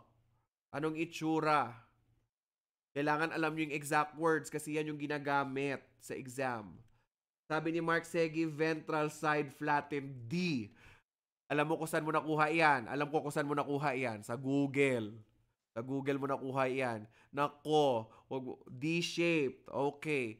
In your exam, specifically Apollon, ito yung parang tinatawag nating medtech leakage. Okay? They have questions and the answer to that question is actually lopsided D. Hindi basta D-shaped lang. Okay? Huli ka na, Jeneline Marzan. I'm terribly sorry, Jeneline. Alright? Okay, so lopsided D ang dapat yung tatanda. Kasi sa board exam natin, walang pictures. Kaya alam ko alam ninyo 'yan kapag ka nakita niyo na sa exam niyo yan sa ano. But because you guys are still your are still at your undergraduate years, I'm not going to ask you pictures, okay? Because my main focus for you guys is to pass your parasitology exams. Kasi bakit? Bakit sir? Kasi may kasi parang 20 questions ang itatanong sa inyo yan sa exam nyo. Out of 120 questions ata or 15, I'm not sure. Please uh, please confirm with your uh, with your with your professor because I haven't been in the Philippines for quite some time now. But in our case, it was uh, it was 10 to tw- 10 to 15 uh 15 to 20 questions in our exam. Eh kung nagkamali ka, sayang, napakadali ng mga questions sa parasitology, guys. Kaya nga binigyan ko kayo ng isang papel, yun, eh, isang isang notes na yon. Yun ang reviewin ninyo. Sigurado lahat ng questions sa parasitology masasagot nyo na. Pag hindi nyo na fill out yung first, bahala kayo sa buhay nyo. Charig. Charig. Huwag kayo mag-alala, nandiyan pa naman yung video. Nababa, nadidelete lang yan every year kapag ka may bago akong lectures. Alright, now, because uh, because Enterobius vermicularis can cause reinfection on the same host, it is considered as what parasite? Ayan na, patay tayo dyan. They are known as an auto-infective parasite. And what type of reinfection? External reinfection or re- external auto-infection. So please ter- please don't forget these terminologies that I'm using. Basically, ano ba ang ginagawa ng isang pasyente na merong pinworm infection? In Tagalog na lang, Amanda. Anong ginagawa? Sige, si James Paul na ulit. Dito kay James Paul, bida ang sarap. Alright, James Paul. Kamot. Nagkakamot. Kamot po. Very good. Very good. Eh, Siyempre, usually, bata iyan. Hindi naman alam ng bata na madumi yung puwet niya. 'Di ba Kakamutin niya yung arsehole niya. 'Di ba Hindi ko sinabi yung a-hole. Kasi bakit hindi ko sinabi Mark? Kasi baka ma-demonetize tayo. So, sinabi ko in German na lang. Yung arsehole niya, kinamot niya. 'di ba So, ano mangyayari sa bata? Makulit ang bata. Magla- maglakad-lakad sa may ano. May oven na pala yung fingertips niya, 'di ba Tapos, ang bata, anong other, gina- anong other na ginagawa ng bata? Isusubo. 'Di ba? So, I know, kadiri. Pero sa bata, wala namang alam ang bata sa infection control practices, di ba? So, ganon ang nangyayari. Kaya meron tayong tinatawag na inter- external auto-infection. Okay? Bakit? Bakit ba kasi tayo nagka... Bakit sa external... Bakit external auto-infection? Hindi internal. Bakit? Saan ba naglilay ng ova ang ang adult worms? Saan siya naglilay ng ova? Where the, where, ayan na ulit. Kakatahon ulit. Before ka magsagot, dito kay James Paul, bida ang sarap. Talagang meron lagi before siya sumagot. Very anal area po. Perianal area. Yes, he is correct. Talagang alam na alam talaga ni James Paul ang ano, ang parasitology. Talagang gamay na gamay niya talaga. Parang gusto ko na siya talagang bigyan ng 500 talaga. Mamaya ka talaga. Mamaya natin pag-decide on James Paul ha because you're the only one answering the questions and you're very participative and I appreciate it. Mark Segi and ano, Mark Segi McKay eh, parang walang energy ngayon si Nigel, Nigel. Hindi siya nag-raise ng hand ngayon. Parang, girl, are you okay? May pinagdadaanan ka ba? Carry ka pa ba? Naunsa ka diha, day? Napabisaya ako kahit hindi ako bisaya, day. Di ba? Naigit, naigit ka, day? Sir. All right. Anyway, whatever you are, whatever you are, whatever you are feeling right now, these lectures are these lectures are here to edutain you. So, a combination of entertainment and uh, so hopefully when you get to rewatch this, you get to relive some of the funny moments that we have in these lectures. Okay? So, next, let's talk about the disease associated with Enterobius vermicularis. So there, there- there's several terminologies, or actually two terminologies, okay? Oxy, oxyriasis or enterobiasis. Okay? So if it's oxyriasis, it actually is known as an oxyrid worm. The scientific name or the scientific family or the scientific name for the family that uh, that be that is the that that belong or that class that is the classification of Enterobius vermicularis is actually an oxyrid nematode. Okay? But because it's the only one associated with human infections, the correct terminology actually is supposed to be enterobiasis. Okay? Enterobiasis. Not oxycariasis. Because there are there is uh there is what you call cat pinworms, okay, and they're not associated with hum- human infections. So we go directly to which PC infects us. Okay, so that's the main that's the main uh, gist about that one. Now, the common signs and symptoms of um, pinworm infections. Basically, you are you are going to have nocturnal perianal rubbing or perianal scratching, pruritus ani. All right, it is a Latin term used to uh, basically you have an itchy arsehole. Okay, so basically I use the German terminology again, so hindi tayo madidemonetize. Mark Segi, no? 'Di ba? All right, and loss of appetite. All right. So I'm using the German terminology so hindi ako pwede, hindi pwede. Ooh. 'Di ba? Ganun. All right, kasi malapit na ma-monetize, ma-monetize si Sir Manuel yo. 'Di ba? All right.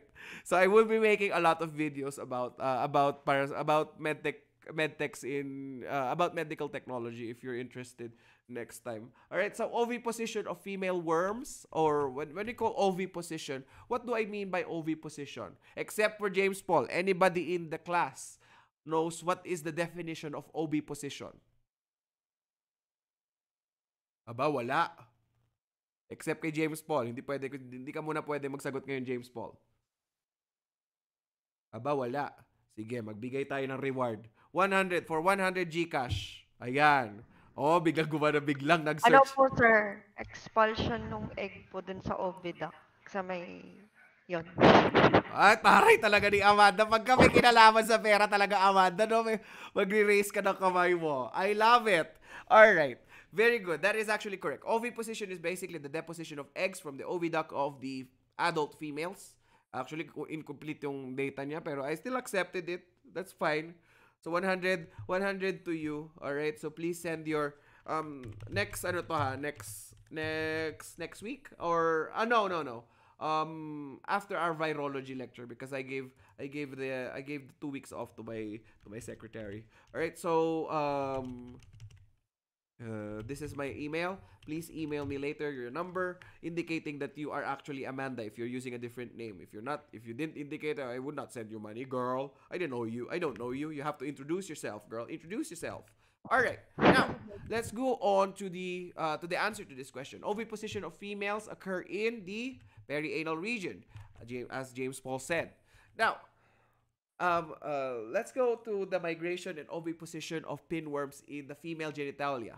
So basically, it will cause three things. This may result to vaginitis, urethritis, and salpingitis. So, sir, tinag talaga, sir, pwede din sila mag-oviposition sa... Yes, of course. Okay? Lalo na kapag ka ang bata ay nagkakamot din sa petchay. Alright? So, pag ang bata nagkakamot din sa petchay niya, most probably, magkakaroon din ng infection yung bata. Kasi nga, mag, mag, ma, uh, ma, mangangati doon, syempre pupunta yung adult worms doon and the distance between the anus and of course the labia minora and majora the vagina is relatively like a couple of cent- a couple of millimeters away from each other right? So it is the it is it is important that in some of the kid uh, in some of the uh, in some of your case studies you might encounter rare cases like these. But most probably most probably class this is more or less Pamet quiz show questions. Okay? So, bakit dinagdag mo dyan, sir? Siyempre, baka mamaya meron tayong representative from this class, di ba? Na ipapadala na si MCC sa, ka- sa, sa Pamet. Wala. Wala. I nominate James Paul. Pag nanalo si James Paul, bibigyan ko ng full scholarship for one year. 'Di ba? Pag nanalo for one year, I nominate James Paul. Kasi para si James. Pero, pero baka mamaya sabihin, Sir, nasagot ko naman lahat ng ano, walang consolation prize. Talaga kayo ha? Wag ganon. Wag ganon. Alright, now, what is the most common diagnostic test for Enterobius vermicularis? Alright, for the win, James Paul. James Paul na naman na nauna eh. Scotch tape method po. Very good. Talagang alam na alam talaga master na master talaga ni ano ni James Paul ang ang, ang parasitology. Talaga sir, four times para. Ay. Wag wag na wag mo na wag na nating ano naririnig ka sa YouTube. Pero of course, thank you so much for thank you so much for sharing that part of your life with us. You know why? Because your mistakes make you stronger. 'Di ba? Sabi nga ni Christina Aguilera, what doesn't make you strong, what doesn't kill you makes you strong. Christina Aguilera ba 'yon? Ay, hindi pala. Kelly Clarkson pala yon. Alright. Kelly Clarkson. Oh, talagang kinorek ako. Sino yung nag-correct sa akin? Kinorek ko naman yung sarili ko ha. Sino yung nag-correct sa akin? Hihingan ko ng Wanda. 100. Hihingan ko siya ng 100 Gcash. Alright. Okay, now to make sure sorry. So you guys you get you guys um uh know scotch tape swab test of course. But if you want to be if you want to be technical, the correct terminology the complete terminology is Graham scotch tape technique. Okay? It's repeated 7 times. Okay? 7 consecutive days rather. 7 times. Hindi 7 times na ano sa isang upuan doon sa ano umupo si patient doon in the same day 7 times mo kinolekta. Hindi ganon. Okay? Seven days consecutive. Seven consecutive days. So, pag sinabing seven times, um, I want to be, I want you guys to be sure, I want you guys to be, I want it to be clear for you guys that it's seven consecutive days. Alright? Alright. Now, uh, mode of transmission of, um, mode of transmission of pinworms. Actually, there are two. Uh, who knows the mode of transmission of pinworms? Anybody can enlighten the class? Mark Segi? Two. Okay, I In- need two. Ingestion po, tsaka yung auto-infection. Invent in eh? Really? That's already ingesting it. Ingesting the embryonated eggs. Actually, it's inhalation. Alright? Totoo, sir. Totoo ba? Yes. If you look at in the you look at it in the books, the reason why it's called society worm is because people who are oftentimes living with uh, people who are living with patients infected with infected with Enterobius vermicularis will also test positive with the Scotch tape test, with the Scotch tape swab test. Bakit? Kasi in the dust, the embryonated ova will be what? Will be floating around, especially yung kumot. Syempre, ika, syempre yung bata pagka nangati sa gabi, ikakamot ah, ikakamot sa may ano niya, sa arsehole niya, and then ipupunas siya doon sa may gilid. Syempre, medyo basa-basa, lalo na yung mga bata makukulit, 'di ba? Sa beddings. Yes. Talaga si James Paul, alam na alam talaga ang mga nangyayari kapag ka, ano. So pwede na siya maging ano, diagnostician talaga in terms of parasitology. Hindi natin alam James Paul sa bacteriology pa eh. Okay? We will see. I will look at I will look at the, I will ask Sir Marco specifically for your for your exam answers, okay? I want to see kung talagang deserving ka ng full scholarship pag nakapasa ka ng ano. Pag naka ano, ano pa tawag doon? Pag naka pag naka pag naka first place kayo sa Pamit Quiz Show kasi ni-nominate kita. Chari. All right. Now, another name for Trichuris trichiura?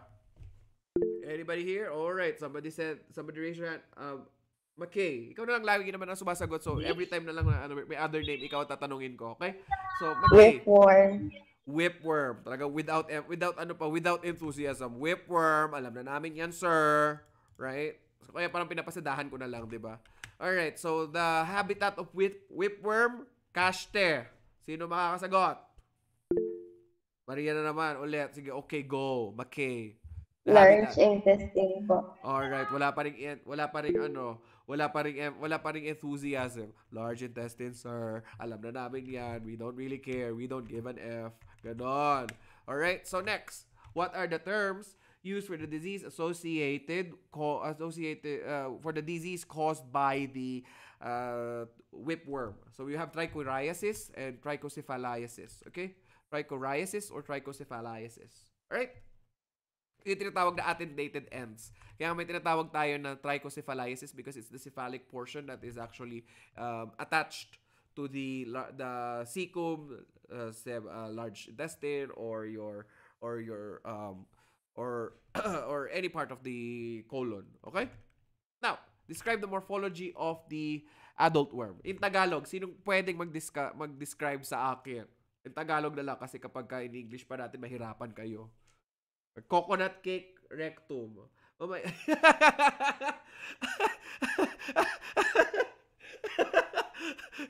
sino yan? Ay, si ano pala yan? si, si Marco Flores talaga. Yung kaklase niyo si Marco Flores talaga.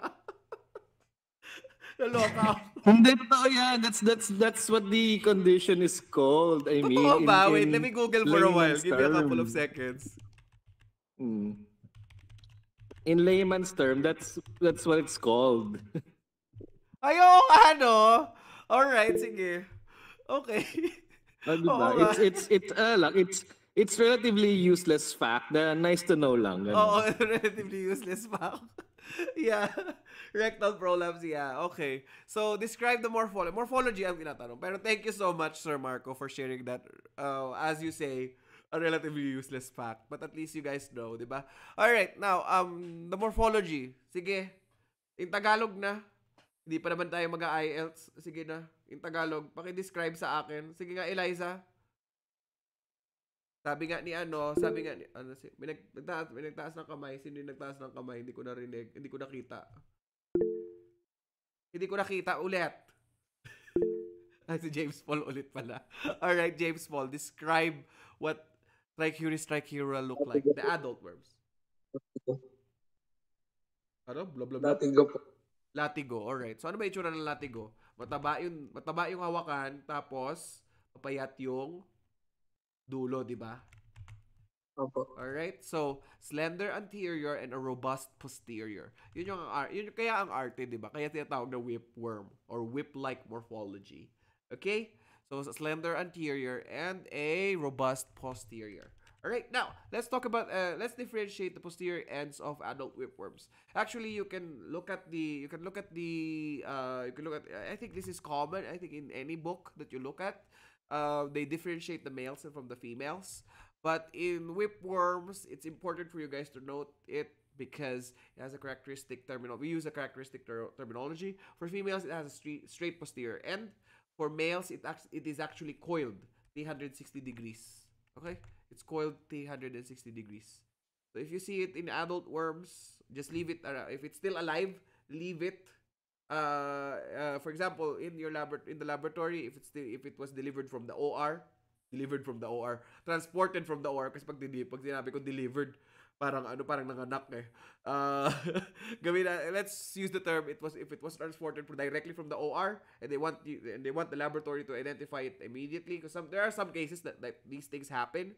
Uh, makikita kasi sa ano, makikita kasi sa sa ultrasound ng patient. Akala may ay sa ano sa yeah, sa ultrasound muna makikita na parang may growth. Gagano si doktor. And then makikita sa colonoscopy niya, ay infected pala siya ng whipworm, infected pala siya ng bulate. So kukuha ng isang specimen ang isang ano, ang, ang isang endoscopist and they will send it directly to the laboratory. Okay, for immediate identification. So what you are what you're going to do, um, this is not included in many of the books that you're going to read. It's actually just a practice in clinical laboratory. Just drop it. Just drop it in the just drop it in the in a flat surface. And if it's a if it's a female, it will form a straight line. Okay? If it's a male, it will coil. All right? All right? Ganun lang yung ano, ganun lang siya kasimple. Now, let's talk about the ova of whipworms. Ang daming terminology. Sige, class. Ano mga terminology when we're looking when we're looking at the uh, morphology of whipworm ova? For Trichuris trichura ova. Lemon shape, okay. Another one. Japanese shape. Ay, Japanese lantern. Alright. Ano pa? Sige. Ang daming terminologies.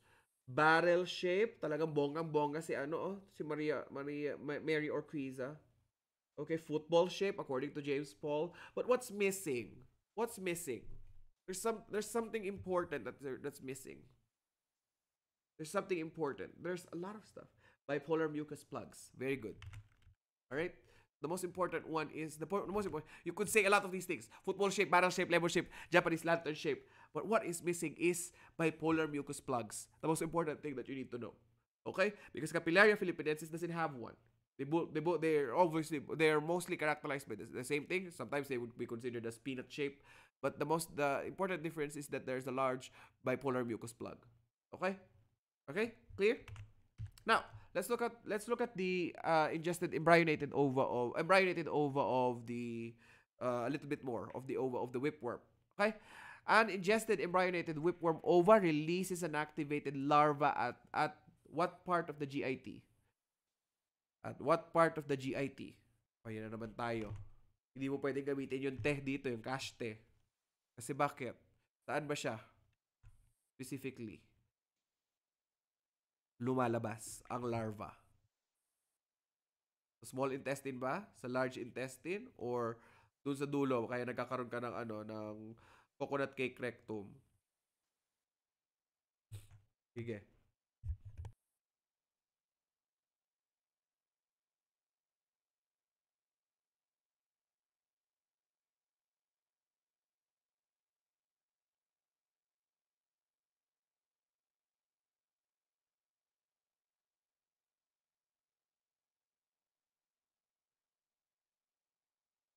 Actually, sir, di ba yan yung tinatawag na pan, ano yun? Ems- enzymada, enzymada ah, in Tagalog. Parang nung estudyante ako, we call it enzymada, uh, enzymada. Di ba? Or intestinal enzymada. Ganon. Talaga ba? Enzymada. Coconut cake yung Kasi may- Kasi may ano, kasi merong cheese. Tapos gano'n yung itsura. Pag May, bud, siya, may budbud ng ano, desiccated coconut. Oh, pwede din gano'n. Yikes! Yikes! Alright. Parang macaroons. Alright, so saan? So, ang larva lalabas sa small intestine, of course. Ba? Class, don't forget, ang larva lalabas sa sa small intestine from the ova. Pero si larva pupunta sa small intestine, doon siya magiging adult worm, specifically sa cecum. Alright? Sa cecum siya pupunta. Okay? So yan yung tinatawag, yan yung basically uh, y- yung basic life cycle ni uh, Trichuris trichiura.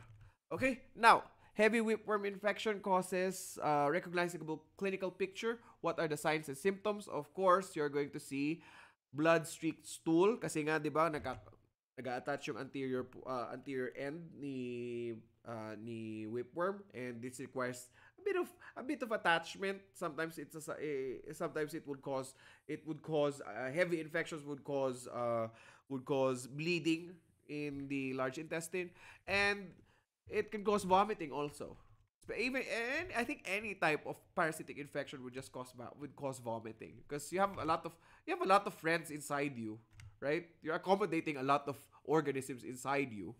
And of course, the natural reaction of the human body is of course vomiting. Specifically lalo na nasa may ano siya, nasa nasa nasa lower ba, nasa may back end natin siya. And in our back end, in our back door, a specific nerve that is responsible for our for our gag re- reflex is actually the vagus nerve, 'di ba? So, isa yan sa mga reactions niya. And then anemia of course, uh, lalo na yung because it's feeding on the intestinal content eh, it- it's feeding on the eh, it's attached to the intestinal lining of the cecum. All right? Now, what type of anemia is caused by heavy whipworm infection? This is very important. Why? Because um because there is a there is a specific type of uh, infection from a parasite, another parasite that is um that is different from whipworms. So the type of anemia associated with it based on uh based on based on the RBC index is normocytic hypochromic anemia. Really, sir? Yes, you would just develop iron deficiency anemia, but the spa- but it will not but it's not as heavy as uh, it's not as heavy as hookworm infection. Kasi blood talaga ang kinakain ni ano ni ni hookworms. While Trichuris trichiura, trichiura, you would just get uh it it's blood is basically just collateral damage. All right?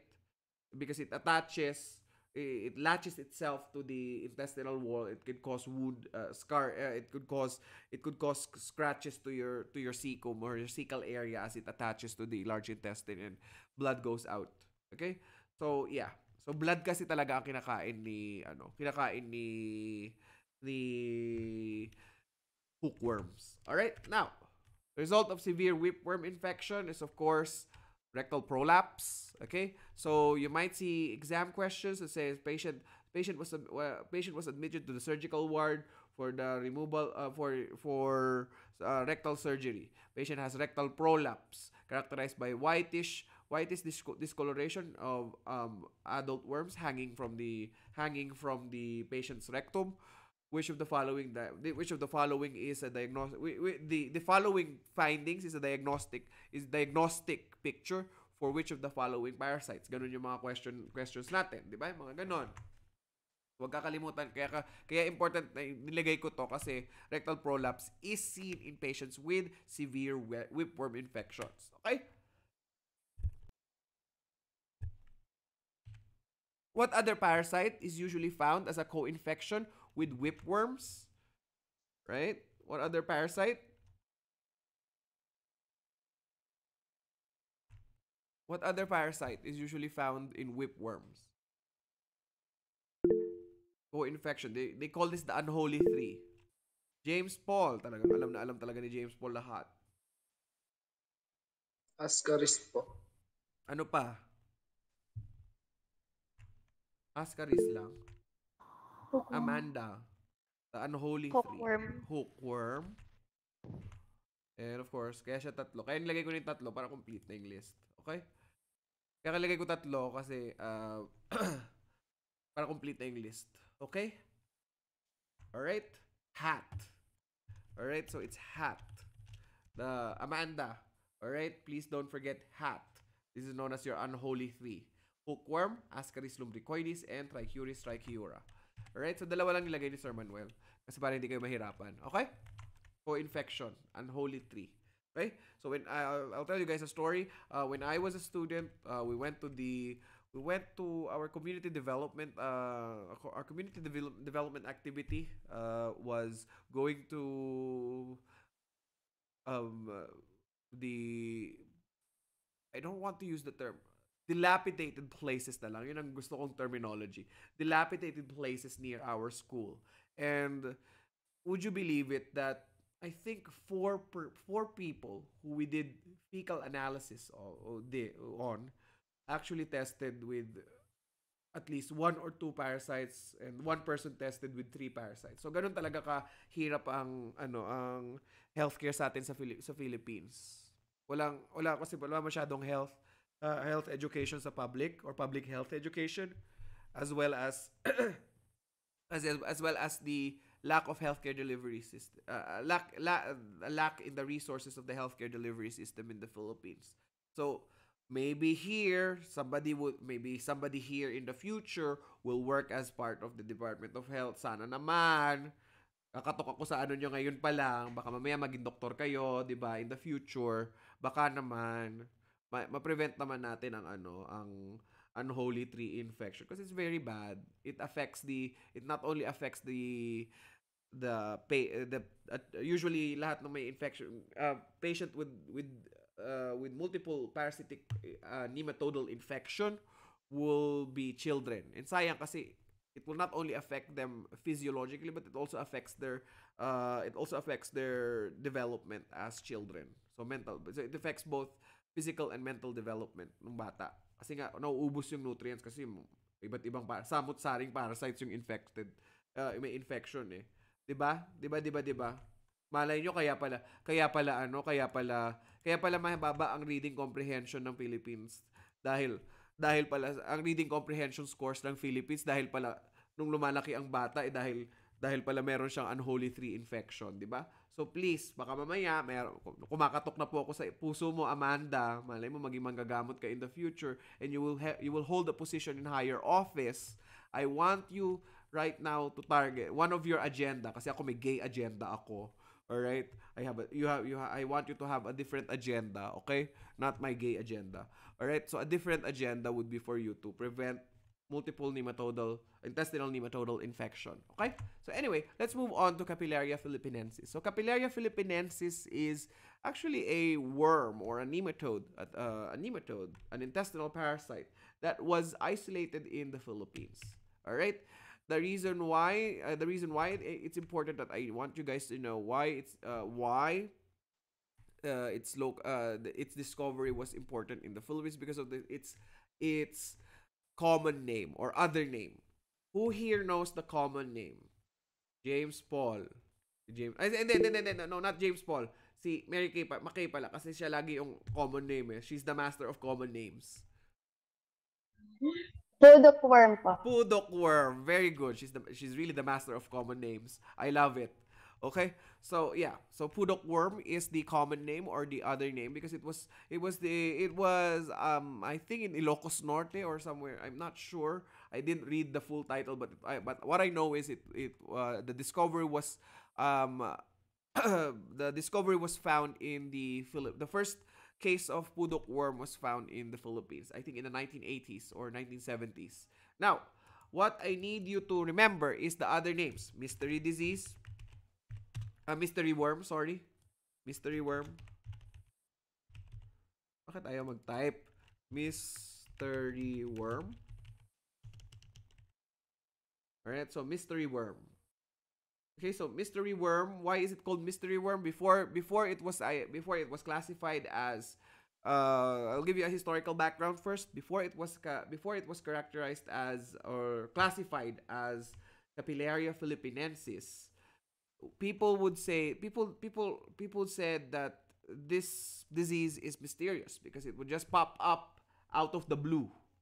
Basta-basta lang lalabas. Parang magical masyado. Parang ang usapan no usap-usapan noon nung unang panahon somewhere in northern Luzon, guys. Talagang ang pag, ang, pag nag-storytell talaga ako parang si Rufa May, no. Ganto kasi 'yon. Okay? Nung discover siya kasi bigla na lang nagkakaroon ng sakit yung mga tao. Ganon. So, sinabi na lang ng mga tao, misteryoso.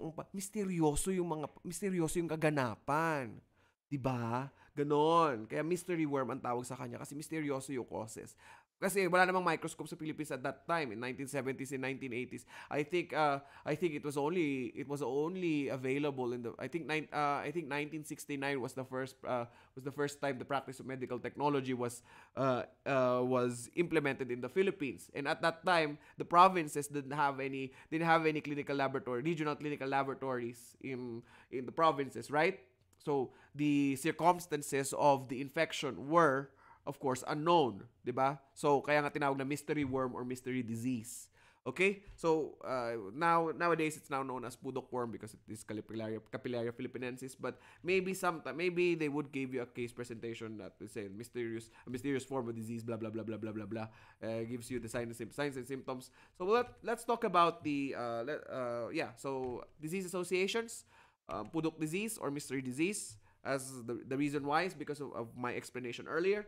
Um, the main habitat of Capillaria filipinensis, it's the first letter in cash therefore it is C. So Capillaria filipinensis is habit uh, the, is considered an inhabitant uh, as an inhabitant of the small intestines all right?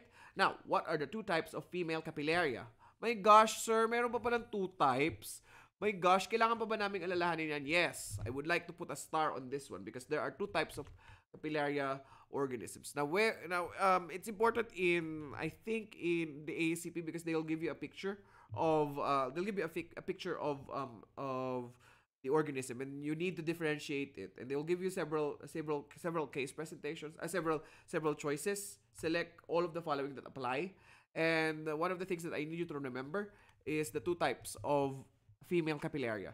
The two types of female capillaria is divided into a typical and typical.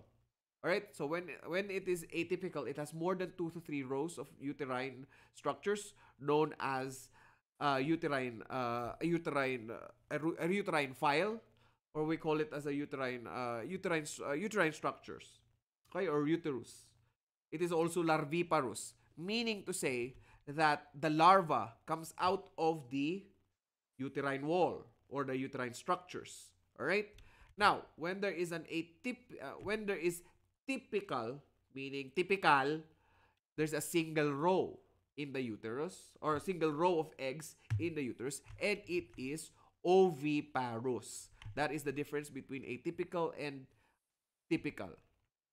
Okay? All right? So single row, single row oviparous, typical, atypical, two to three rows of eggs in the uterus or multi multi uh, multi-uterine and uh, larviparous. All right? Clear? Clear, clear, clear ang difference between the typical and the atypical one.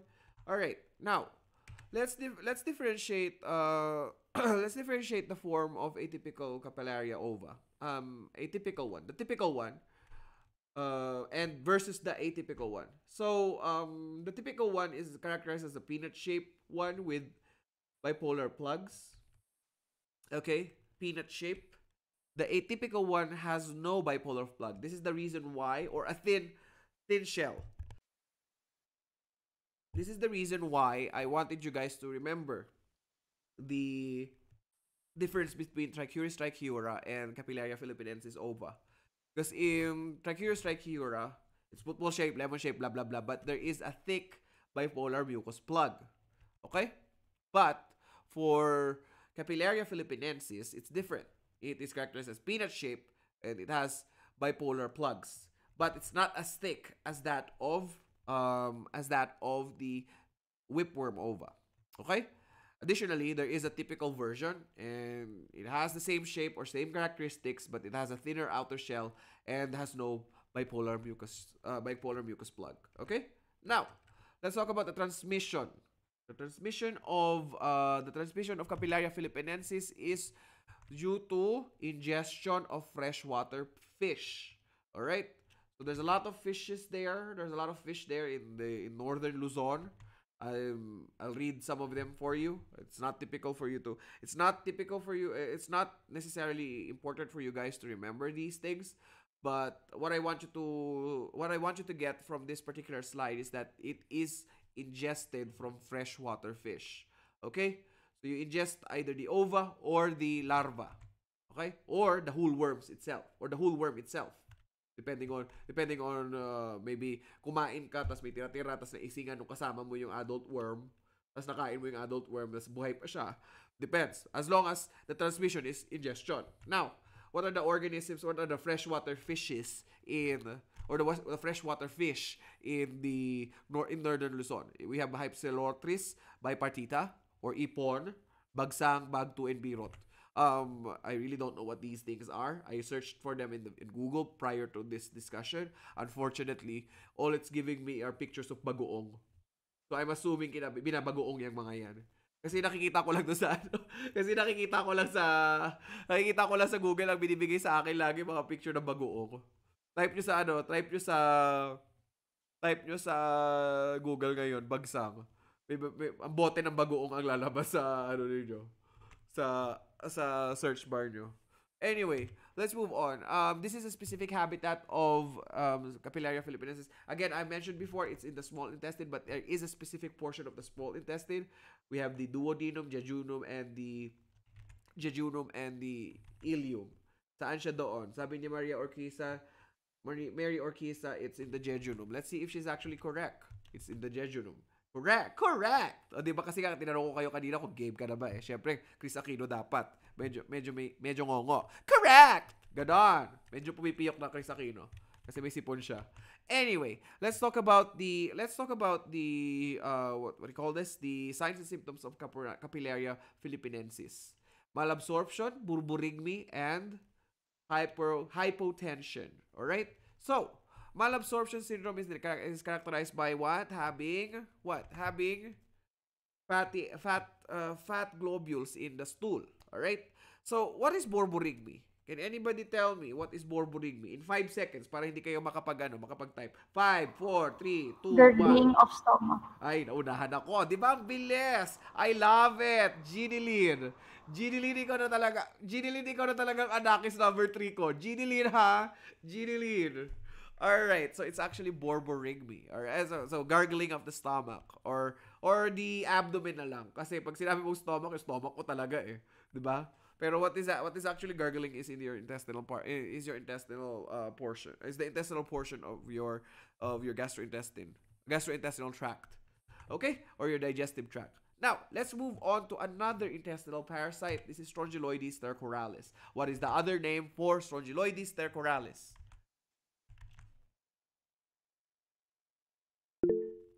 Maria Cristina Mac- McKay, alam mo na yan. Threadworm. Alright. Anong, anong chedworm? Commission of Higher Education worm? Threadworm. Ah, okay. Ang- Thread kasi. Akala ko chedworm. Talaga, talagang lumalabas yung pagiging English teacher ko dito sa mga batang to. Threadworm. Akala ko ano. Akala ko worm ni Sara Duterte. kasi siya, siya bang ano? Ay, DepEd pala siya, sorry. Hindi pala siya. Worm na, worm na makukuha kay Sara Duterte, ganun. Hindi. Stercor- stercoralis is known as the threadworm. Thank you so much, McKay. Alright, mispronunciation, but that's fine with me because you're going to be asked the question on how you uh, you're going to be asked the question uh, multiple choice, so it doesn't really matter how you spell it or how you pronounce it. Now, let's talk about the unique life cycle characteristic of Strongyloides stercoralis. What's what's what did I mention earlier uh, about the infections in in parasites? There are several, right? Auto infection, direct, indirect, right? So here, the unique life cycle is that it's a facultative parasite. Okay? It's a facultative parasite. What do you mean by facultative parasite? So hindi na, it's not necessarily a parasite. It can live as a is a free as a free living parasite or as a free living nematode, but it can also be it can be it can also have a parasitic life cycle. All right? So that is basically the difference. That's what is unique about Strongyloides stercoralis. Okay? The term for the disease associated with it is your strongyloidiasis, of course. And sino nakakaalam? Yung common name ng disease associated with strongyloides stercoralis. Talagang mga common names talaga alam talaga ni ano. Commoner talaga to si ano, si Maria Cristina May Sabado. All right. Commoner, commoner Sabado. What is your answer? Sir, yan ba yung Cochinchina diarrhea? Yes, girl. Yes. Pakibalakbakan nga yung baklang balakbak. Pakibalakbakan nga, guys. Hindi ko, ayan. Ay, ang galing. Hi, hindi baklang balakbak yan. Girl, hindi baklang balakbak yan. Nigel, hindi balakbak. Yung balakbak na tinuro ko sa inyo. Paano yung tinuro ko? Yan, oh. Yes, queen. Yes. Ganon. Alright? James Paul, gusto ko makita yung ginagawa mo din. gusto ko, ginapanig ko lang yung mga students. Gusto ko, James Paul, gusto ko makita mo. Makita na ganun din si James Paul. Patingin na palakpak. Para namang nag-ano ng asin yan. Wisit ka, James Paul. Anyway, let's move on. Alright, now, based on the reproductive behavior of, ster- of Strongyloides stercoralis, what characteristics may be associated with the females? It's parthenogenetic. Alright, so parthenogenetic. It undergoes parthenogenesis. Right? It is capable of multiplying by itself. It doesn't need a man. It's an independent woman. Who girl? It's an independent independent woman. Right? So it's an independent organism. It can live by itself. I don't need a man to I don't need a man to get me pregnant. Ganon. All right? Because it impregnate itself. All right? So uh, para hindi niyo makalimutan, I would call it the Lady Gaga worm. right? The Lady Gaga worm. Kasi may issue na si Lady Gaga dati is ano, is a hermaphrodite, which is of course false. As a person, as one of Lady Gaga's monsters, she is not. She is not a hermaphrodite. So please stop stop associating parthenogenesis with with Lady Gaga. Okay. Now, what is the mode of transmission of Strongyloides stercoralis? My goodness, guys, I I mentioned this several times earlier in the morning. Uh, earlier in our discussion. If you cannot answer this, I I suggest you return to your parasitology lectures. Maria Cristina Sabado. Skin penetration po. Of what? Of the larva or of the ova? Larva. Which type of larva? Patay na.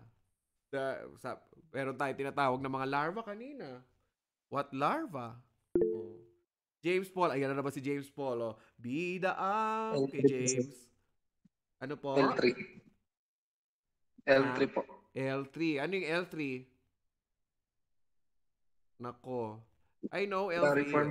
Filariform larva. Yes, very good. The third stage, filariform larva. Kaya naman tinatawag tayo ng H1, uh, R1, R2, L1, uh, R1, R2, H, uh, F1, F2, di ba? Kanina may sinabi ako. So, it's the same thing. So, basically, it's L300. O taray talaga si, si Sir Marco talaga, L300. It undergoes several life cycles before it becomes an adult. 300 times siyang magmo-molt. Di ba, Sir Marco? Ikaw talaga, you are confusing us. anyway, let's move on. Alright. Now, what stage of Strongyloides stercoralis is passed out in the feces? Patay tayo dyan na naman. Naku, napaka-specific na mga questions ng board examiners natin. Alright, so infective stage, infective stage is also uh is also specific. The the uh the one that is passed out in the feces is also specific. What is the answer to this question? Patay tayo. Sige, I will challenge James Paul. Sige, hindi ka mag, hindi mo kailangan magtaas ng kamay James Paul ngayon. What would you usually see in the feces of patients infected with Strongyloides stercoralis? Usually ha. So I didn't say all the time. Usually. Alright? Baka mamaya yan na naman si Mark Segi. Nakikita ko pinipiloso po na naman ako. Alright. So wala? Wala mga kasagot? Ayun na si James Paul. James Paul daw eh. Kunyari hindi ko nakita na may sumagot. Raditiform larva. Very good, very good. Why? Why is the raditiform larva passed out in the feces? Bakit? Because it is the feeding stage. Yan yung he, is uh, this is the larva that is amassing energy kasi ready na siya dap- dapat pagka re, pagka papasok siya sa definitive host, dapat ready na siya. Kailangan na siya makapenetrate. So kailangan makakain na siya, ba? Ganon. Alright? So rhabditiform larva, yan yung mga larva na nakabuka yung bunganga. Okay? Pag filariform larva, yan yung parang needle na yung mga bung- bunganga. Bakit bunganga ang term na ginagamit ko? Kasi yung tinatawag na buccal cavity. Para hindi nyo makalimutan, bunganga, buccal cavity. Okay? Pag nakabuka yung bunganga, rhabditiform larva. Pag nakasara na yung bunganga, tapos naka-point out na, yan na yung filariform larva. Bakit filariform larva an infective stage? Kasi para na siyang needle. Papasok na siya sa loob. Si Eliza Galan, hindi siya sure. Galian pala. Galian ba o Galan? Galian. Anyway. Galian po. All right. Okay. Thank you for correcting me. Sometimes I need to be corrected. I'm not perfect, right, Eliza? Right? Okay. Now let's move on to the let's move on to the characteristic shape of the ova. Sir, ina sir, can we identify if it's actually strongyloides stercoralis? Yes. In some cases you would see the ova. All right? It is square or Chinese lantern shape. All right? So I think you guys are familiar with this one. Oh, um uh, we're not going to dwell deeper on this too much because it might confuse you with the infectious stage and the uh, stages that you can see in the st- the feces. So I would just rather add this into your into your compendium of knowledge, your ever-going compendium of knowledge when it comes to parasitology. All right. Now, square-like or Chinese lantern shape. Now, what are the three types of life cycles associated with Strongyloides stercoralis? I'm going to talk about it as I mentioned earlier. As I mentioned earlier, there is a direct life cycle. Who, who raised her hand? Un- unfortunately, I will discuss this one because it will take time if a per, if a, if a student discusses this. Um, let's talk about a direct life cycle. So from filariform larva, it would exit through the bowel and enter to the definitive host through skin penetration.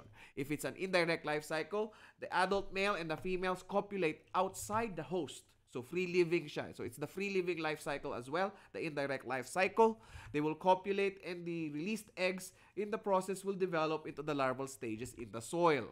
Okay? In the soil. Okay, that stage, the stage that will be infectious is still the filariform larva. Okay, next is the auto-infection stage. The rhabditiform larva will develop into a rhabditiform, into a filariform larva inside the definitive host. That that's in the case here. It's Nigel, right? So for example, Nigel has uh, Nigel already has a pre-existing a pre-existing uh, sorry i forgot to change the slide so for example nigel has already we're talking about the auto-infection form right for example nigel has an auto uh, Ni- nigel has an auto-infection uh, an auto-infection of of Strongyloides stercoralis she already had the pre, pre she already had uh, has a pre-existing um, pre-existing infection of Strongyloides stercoralis what happens is that because the organism is larviparous it will the the larva the rhabditiform larva will develop in the stomach in the, the small intestine and then it will mature into a filari, filariform larva and then it will uh it will mature into an adult worm as well inside Nigel Alright? Nagets mo Nigel kung bakit auto-infection siya. So what's the difference between what's the difference between the type of auto-infection caused by Strongyloides stercoralis and the auto-infection caused by auto-infection caused by um, Enterobius vermicularis. Can somebody give me the answer? Yes, sige, sige. Kailangan ko po po ba magkamot ng puwet para makakuha ako ng ano? So based on the based on my description already, it's not it doesn't necessarily it doesn't have a, oh, okay. All right. So somebody raised their hand. They raised their hand. Okay. Who was that? James Paul, is that you again? I didn't see. Sir, internal po yung strongy.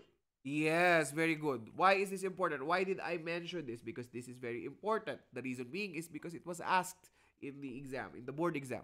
Which of the following organisms causes an internal auto-infection? Ang sinagot ko noon, alam ko nagkamali ako, practice question lang naman yun, buti na lang. Um, uh, ang sinagot ko, ang sinagot ko, Enterobius vermicularis because I knew that uh, the only, I was thinking of uh, Strongyloides stercoralis and the, and the other one was uh, uh, Enterobius vermicularis. But at that time, I didn't know that there was a different, there were two, there were two types of auto-infections. Okay? So, tinanong yan sa exam ko. Okay, guys? Practice question lang yun. Buti na lang. At least naalala ko siya. Alright? pinagtatawanan ako ni J- pinagtatawanan ako ni Mark Segi kasi my god sir Ganun. my gosh so what type of Sir, sir, sir, kasi may sinabi si Sir Mac eh. ano yung sinabi ni weak? ano ka ba, Sir Marco? Malay ko ba? Hindi naman, pinasadahan lang, pinapasadahan lang naman namin yun. Sorry. Grabe ka naman sa akin. Pero pinapasadahan ko naman, pinasadahan ko lang yan noon eh. Syempre, syempre nagmamadali ka, time pressured ka pa. Syempre nag-focus ka doon sa mga ano eh. Wala pa ako yung mga test taking, test taking tips na binibigay ko sa inyo ngayon eh. Wala kayong Sir Manuel noon. Ah, wala kaming Sir Manuel noon. So bali sariling sikap ang tawag doon, 'di ba? 'Di ba Sir Marco? Buti nga to mga to, meron pa mga videos eh. Sasapalik ko to mga to, tapos bumabagsak pa rin. Kami kailangan pumunta pa ng library. Nakakaloka kayo ha? Nakakaloka kayo talaga. Kung ako yung may Google ako noon, Diyos ko siguro ano ako, summa cum laude ako noon. Kasi napakadaling i-access yung information. Yung time namin, kailangan pa pumunta ng library, pero hindi pa ako ganun katanda. Ano ba? 2011 ako gumraduate. Stop it. Stop it. I'm still young. I'm still young, Jenny Lynn. Okay? Pinanganak kita when I was a teen. Okay? Pinanganak kita when I was a teen. I'm a teen mom. Charing. Charing. So the answer to this question is, of course, uh, what is the type of auto infection seen in strongyloides cercoralis? It's internal auto infection, as I mentioned before. Right? Now, indicate the route traveled by the filariform larva. So obviously, it will start in the skin, and from the skin, it will go to the bloodstream. It will go to the heart, the lungs, the tri- the alveoli, the trachea, the, the pharynx, and then it will go. Essentially, it will go to the to the fa- the, the esophagus, and from the esophagus, it will be swallowed. And then the and then the small intestine where it becomes the habitat until it becomes an adult worm. All right? So ganon. So paano ang paano ang shortcut there? From the heart, from the heart, from the from the blood to the heart to the lungs and to the esophagus where you swallow it. So kailangan ko pang alalahanin yung in between ng lungs, yung alveoli. Talagang kailangan pa specific, sir. Syempre paakyat na siya. Pupunta siya ng heart, pupunta ng lungs, tapos aakyat na siya from the from the heart it will go from the alveoli to the trachea to the pharynx and then from the esophagus where it becomes swallowed. So, ganun lang yung tinatandaan ko lagi. So, silalagay ko na lang uh, respiratory tract na lang. Tapos, ano, huwag nyo nang alalahanin yung in-between nung lungs, trachea, eh, mga ganyan na yan. Actually, dapat sub-bullets yan ng lungs eh.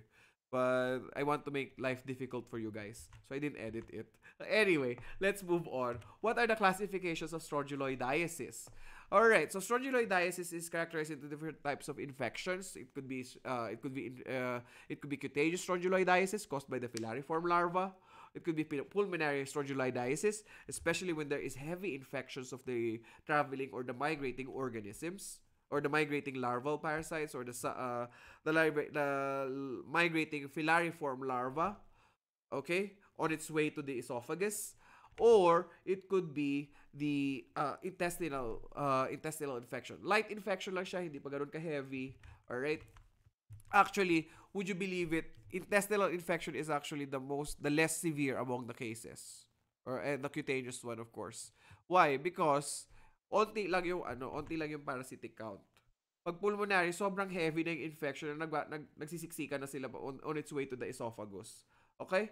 So nagkakaroon na ng ubo ang pasyente kasi nga dumanda nabubutas na yung nabubutas na yung lining ng ano, nabubutas na yung lining ng, ng lungs ng patient. So medyo severe na severe heavy infections na si pulmonary one. All right? Now, the cutaneous the cutaneous type of strongyloidiasis is caused by the larval skin penetration. Of course, a larva, the larva of uh, of any organism that will en- that will enter your skin is considered as foreign. Therefore, therefore your white blood cells will at will consider it as foreign. Kaya magkakaroon ng kaya magkakaroon ng cutaneous type, magkakaroon ng rashing. Hindi mo alam pala na hindi mo alam na yung rashes mo pala na maliliit na mga kuntil na rashes dahil sa may ano mo, sa paa mo, yun pala entry point na pala yun ng parasite. Okay? So that's the reason why we have what you call we have what you call the larval skin penetration. Okay? Now, the highest sensitized uh, in highly sensitized individual cutaneous strongyloidiasis may be unsuccessful. This results to a characteristic larval migrants known as ito a specific question is it's a specific question. Specifically yung patients na mga ano, very active ang immune system nila, hindi katulad ko, katulad na sinabi ni Sir Marco kanina, weak daw. Um um, in cases na super super active ang immune system ng mga pasyente, hence the term highly sensitized, cutaneous infection will be unsuccessful. Maybe unsuccessful. Ang nangyayari is there will, will be what you call larval currents. Okay? The, the correct term is larval currents or known as the larval race. The linear urticarial lesions on the skin. Yung parang nagre-racing yung mga larva. Kasi hindi sila makapasok sa bloodstream. Okay? So, usually, ang route nga nila, di ba, is from the skin to the bloodstream. Pero, since masyadong malakas ang, ano, ang immune system ng isang pasyente, hindi makapasok. So, ang, ang nangyayari, instead of going vertically, horizontally na lang. So, parang nagre-racing na lang sila. Hence the term larval currents or the larval race. Ba? Alright? Next, what type of diagnostic technique is used to demonstrate Strongyloides stercoralis? We have what you call, uh, we have what you call the, uh, because it's difficult to isolate, uh, it's difficult to isolate the filaria, uh, the filariform larva. Um, the most uh, common way, uh, the most common way, or the traditional way rather, that doesn't require any type of serological testing or serological testing or what another other form of uh, automated analyzer is your Harada Mori technique or the filter filter paper culture strip technique. Okay? Another one is the Bayerman fecal suspension technique, which basically is uh, uh, allowing you to demonstrate the rhabditiform larva. Okay? Rhabditiform larva. Why did I put an emphasis on the rhabditiform larva? Why? Why, why, why? Why, why, why? Because if it's the filariform larva, that's another organism. Okay? You can still use Harada Mori and the filter paper strip culture technique or the Bayerman suspension technique. But what you would demonstrate in another organism, which will, which will be the one that we're going to talk about later before our break, is the rhabditiform larva. Okay, for Strongyloides stercoralis, it's important that you remember that the rhabditiform larva is your diagnostic stage. So, ayun na naman. Ang dami naman mga terminologies, te- sir. So, what is the diagnostic stage of Ar- Ascaris lumbricoides? Ascaris lumbricoides muna tayo. Kasi para alam niyo kung anong ibig sabihin ng mga diagnostic stage na yun, ang mga pinagsasabi ko. Ginilin, anak. Number 3. Junakis, number 3. What is the diagnostic stage of of uh, Ascaris lumbricoides? Fertilized ova. Very good.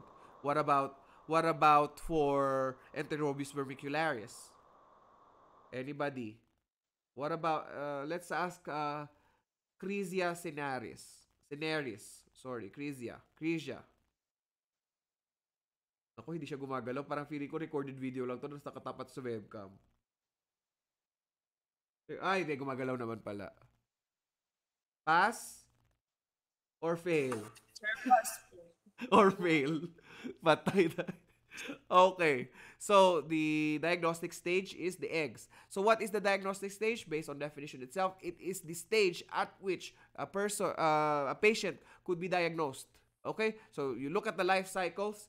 Is it the larva? Is it the ova? Or is it the adult worms? Okay? So the diagnostic stage is the stage or in the life cycle of the organism where you can see it in clinical specimens. Please don't forget that. Okay? Okay, okay, clear? Clear, clear, clear? Now, how many stool samples should be collected if you are diagnosing a case of strongyloidiasis or Cochin China disease? There is what? Three samples required. You need to have three three samples because because the organism is larviparous. There is what you call uh, the, the, uh, why why it, it is why it is necessary for you guys to collect three samples is because of what you call larval showers. Okay, there is a specific uh, there is a specific day at which the larva will come out of the of the adult worms. Okay, all right.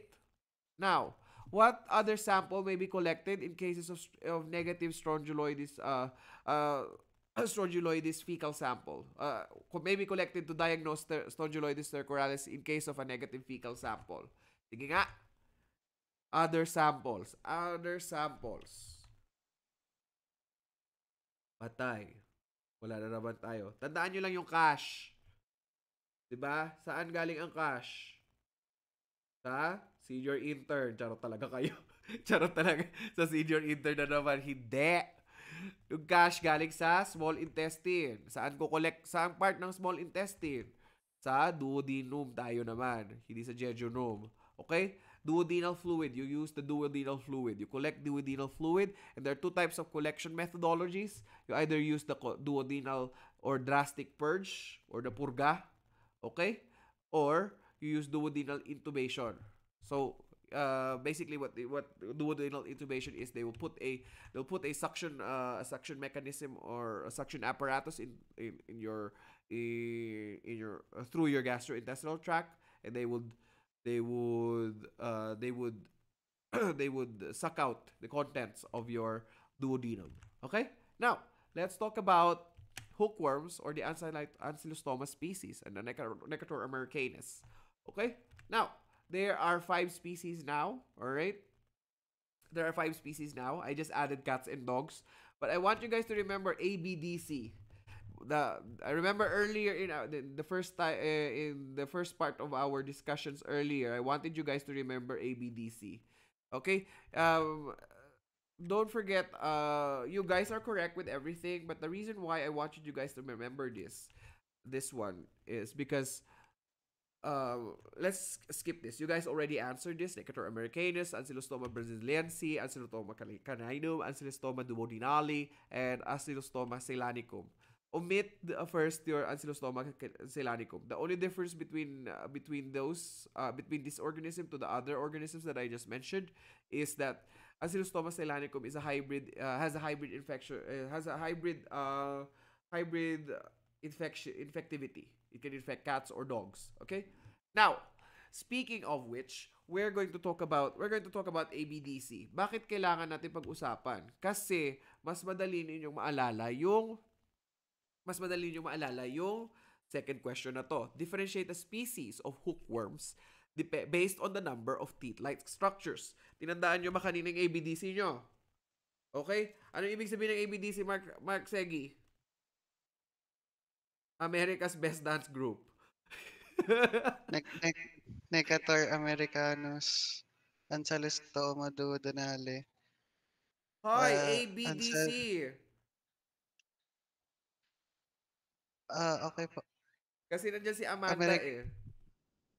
Americanus, Brasiliense, duodenale, tsaka caninum po. Alright. So, bakit gusto kong paalala sa inyo? Kasi, this is the, an- the, the reason being is because in your exams, they will ask this question. How many teeth structures, how many pairs of teeth are seen in these organisms? ba? Alright, uminom lang ng tubig. Sorry, nauubo. Alright, so kailangan maalala ninyo. Kasi bakit? 0, 1, 2, 3. ABDC. O, di ba? America's Best Dance Group. Alright? 0, 1, 2, 3. Sir, paano namin maalala? Sir, paano namin maalala yon? Kasi, tingnan nyo ang sa... Semilunar plates lang si Necator americanus. Therefore, it doesn't have teeth. Okay? Cutting plates, semilunar plates, that's the thing. Alright? It's zero. Alright? So, Ancylostoma brasi- brasiliensis has one pair. Ancylostoma duodenale has two pairs. Ancylostoma caninum has three. So, it's easier for you guys to remember. Right? Di ba, Amanda? ABDC. Don't forget. Nasa si Amanda? I, prepare, I prepared this just for you. It is a Thank you, special sir. lecture just for you. Okay? Alright? So, I'm always taking your... I'm always taking your welfare into consideration every time I I I make lectures for you guys just because I care so much of Amanda's Amanda's feelings. All right? Next, other names for the hookworms. Okay? So si Miss Miss other name tayo. Let's start with Necator americanus. Um Sabado, where ha- where have you been? Where art thou? Are you there? What's the what's the other name for Necator americanus? Uh, American hookworm, American murderer, New World hookworm. All right, very good. New World hookworm. All right, now, uh, Ancylostoma brasiliensis and Ancylostoma caninum is basically the same. Uh, you could say that it's the Brazilian hookworm or the South American hookworm, right? And then caninum is basically cat hookworm, uh, dog hookworms. But what about Ancylostoma duodenale? What is the other name for Ancylostoma duodenale? Mark Segi. Old World Hookworm po. Okay, gets na pala lahat. So gets na lahat. So if I say so if I say um uh, let's just let's just pray let's just uh, work out with a with a little bit of an exercise. uh, say for example, the question says here is blah blah blah blah blah clinical presentation blah blah blah blah blah, and you found the two terms adult worms upon upon electron microscopy. Diba? Social electron microscopy ang ginamit. Using using silver iodide ions, 'di ba? Social talaga, sir. Talagang electron microscopy ginamit, bulati lang 'yan, sir. Talagang electron microscope ang ginamit, no? Showed three pairs of teeth. What organism do we have? Oh, Kananay, kay kanay nung po, sir. Kasi nga, America's Best Dance Group, di ba? O na-gets nyo na kung paano, di ba? Kasi D, ba? may ABDC, di ba? Pinagbaliktad lang natin, di ba?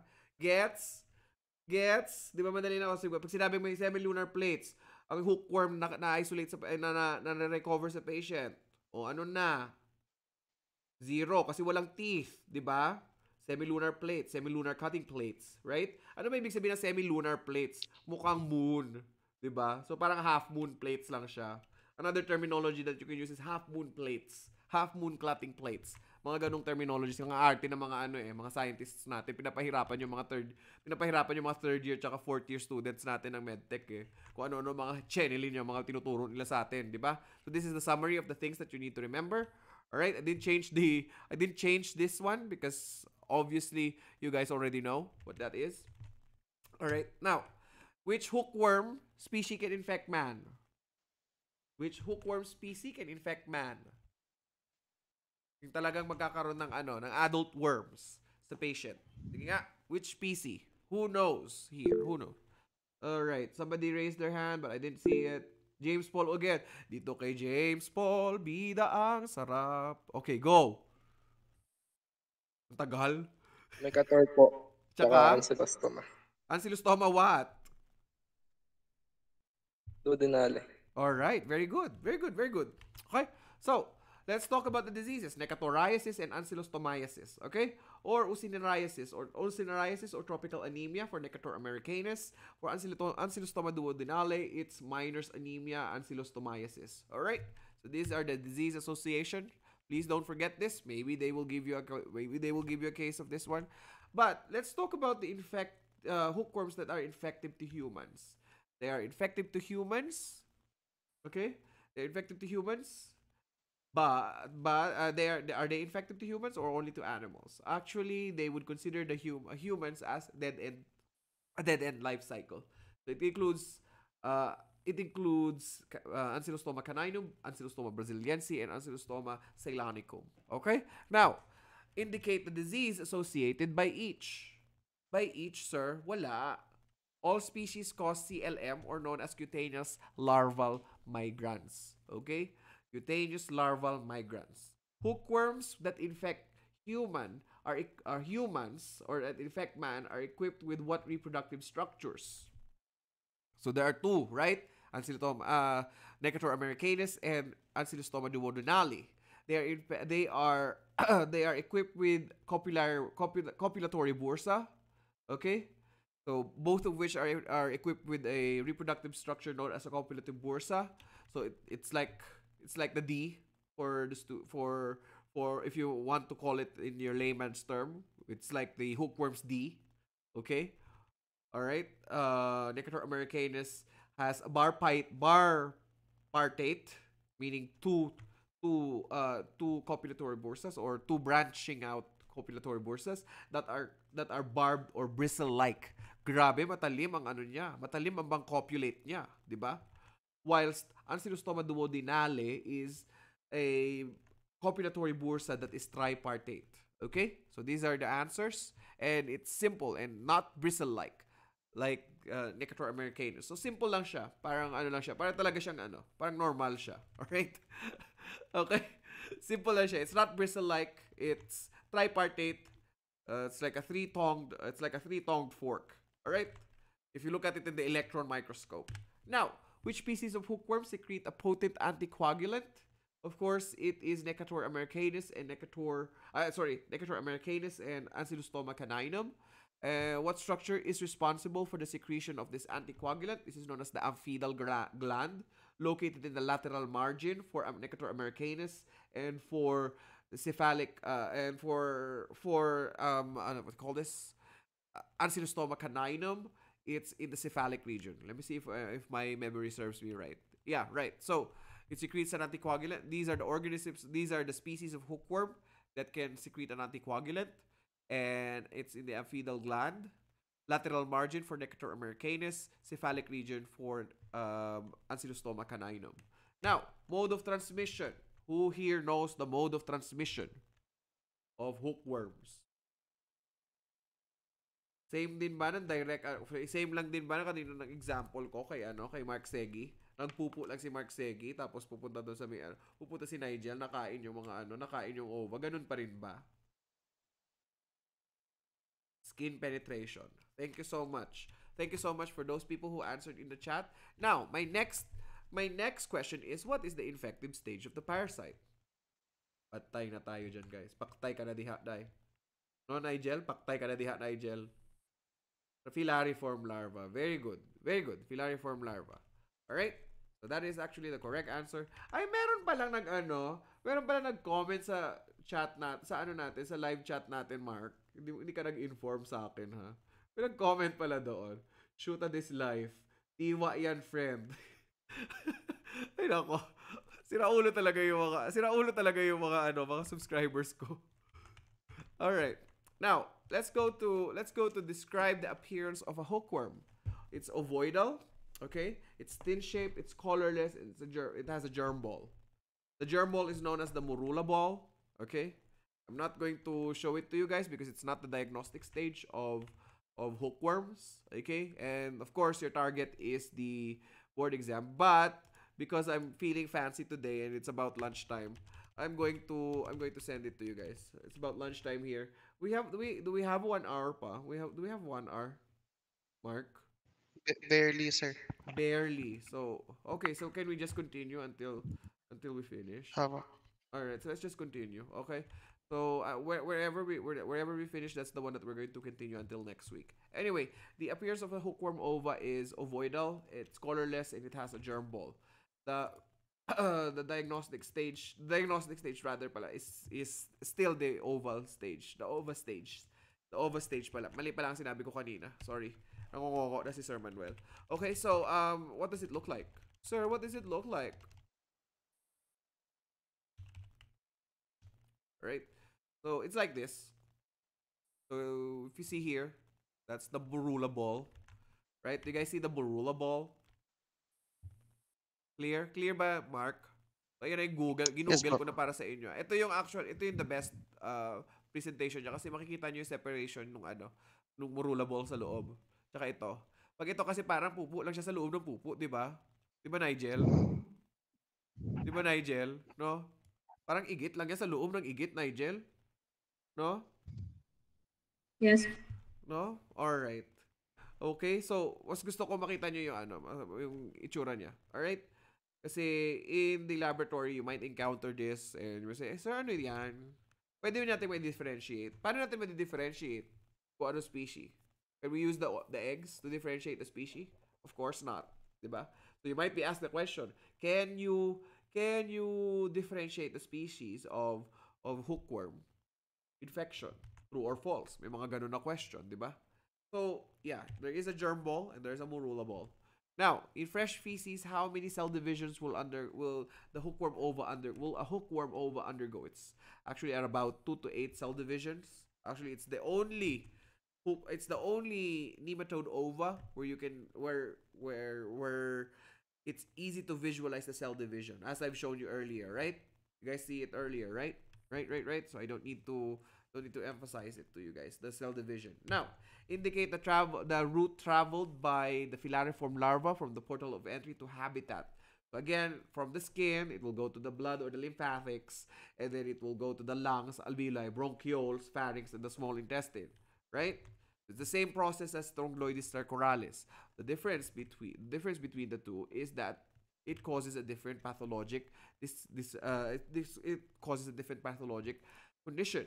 Uh, the pathologic conditions associated with the larval stages. We're talking about the larval stages. All right, would be ground itch or dew itch. This is the severe itching from an allergic reaction at the site of oval entry. or larval entry, sorry, at the site of larval entry. We have also the pulmonary type, which is known as the Makata Wakana disease, or the pulmonary larval migrants. And obviously, we also have uh, we also have cutaneous larval migrants, or your creeping eruptions. As it's characterized as serpiginous lesions. When I say when we say serpiginous, it's like it's snake-like. Okay, serpiginous lesions in the skin, snake-like. It's especially it's especially common in cases where you are you have been infected with with larva from non-human hookworm infections. Okay, so it's a non-human hookworm infection. All right. So what are those? Ano 'yon? Braziliense and Canainum, right? Because the other one, Guadalnale and Necator americanus or americanus is a human in fact, a, a human parasite. All right? Now, the pathologic conditions associated with hookworms associ- uh, with their adult stages, in their adult stages is of course hookworm anemia. All right? Hookworm anemia. Because the hookworms attach to the intestinal mucosa, they will cause anemia and they feed on blood. All right? Hypoalbuminemia is ex- uh, excessive loss of blood and lymph fluid. Of course, the hookworms feed on the hookworms feed on blood and lymph. Therefore, it causes hypoalbuminemia. as well. so it not only affects the it not only affects the blood cell counts, but it also affects the blood volume. Okay?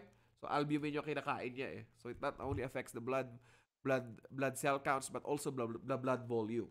All right? Now, what is the blood picture of a patient infected with hookworm anemia? It's microcytic hypochromic. Bakit? Bakit? Chronic hookworm infections actually causes iron deficiency anemia. All right? If it becomes chronic. Okay?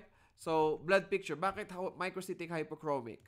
Kasi ang target niya talaga is blood cells. Okay? As opposed to what? Earlier.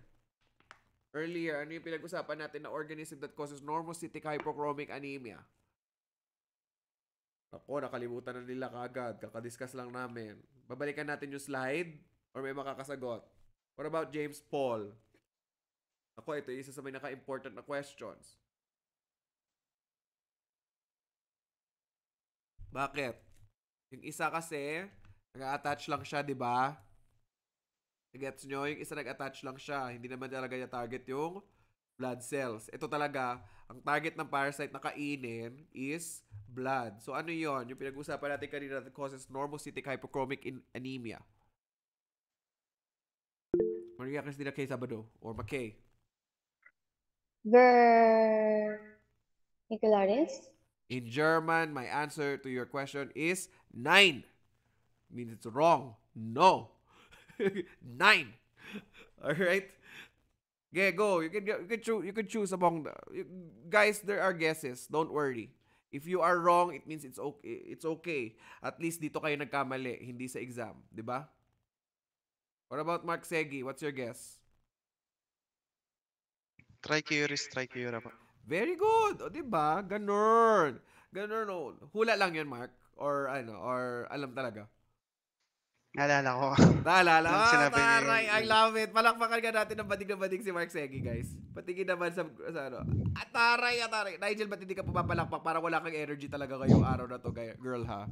Girl, alam ko, pinirake tayo ng boyfriend natin, pero the life must go on, di ba? Katulad nga ng ano, hanap ni Jeneline Marzan, na future future student, medical student ni Jeneline Marzan. Hindi na ako nagsabi ng gender, kasi ayan na naman tayo. La- Lagi na lang, lahat na lang na ginaganyan ko, lagi na lang ako, Mark, bakit ganon? Mark, bakit ganon? Hindi po ako ano ha. I support your I support your rights and ano ba. Pero hindi po talaga hindi ko talaga ina-expect. Every student talaga na pino-point out ko kapag ka mga jowa bells, lagi na lang related to the LGBT community. I'm very sorry. It just it happened. It's a, it's a happenstance. I'm sorry. Or a serendipitous event.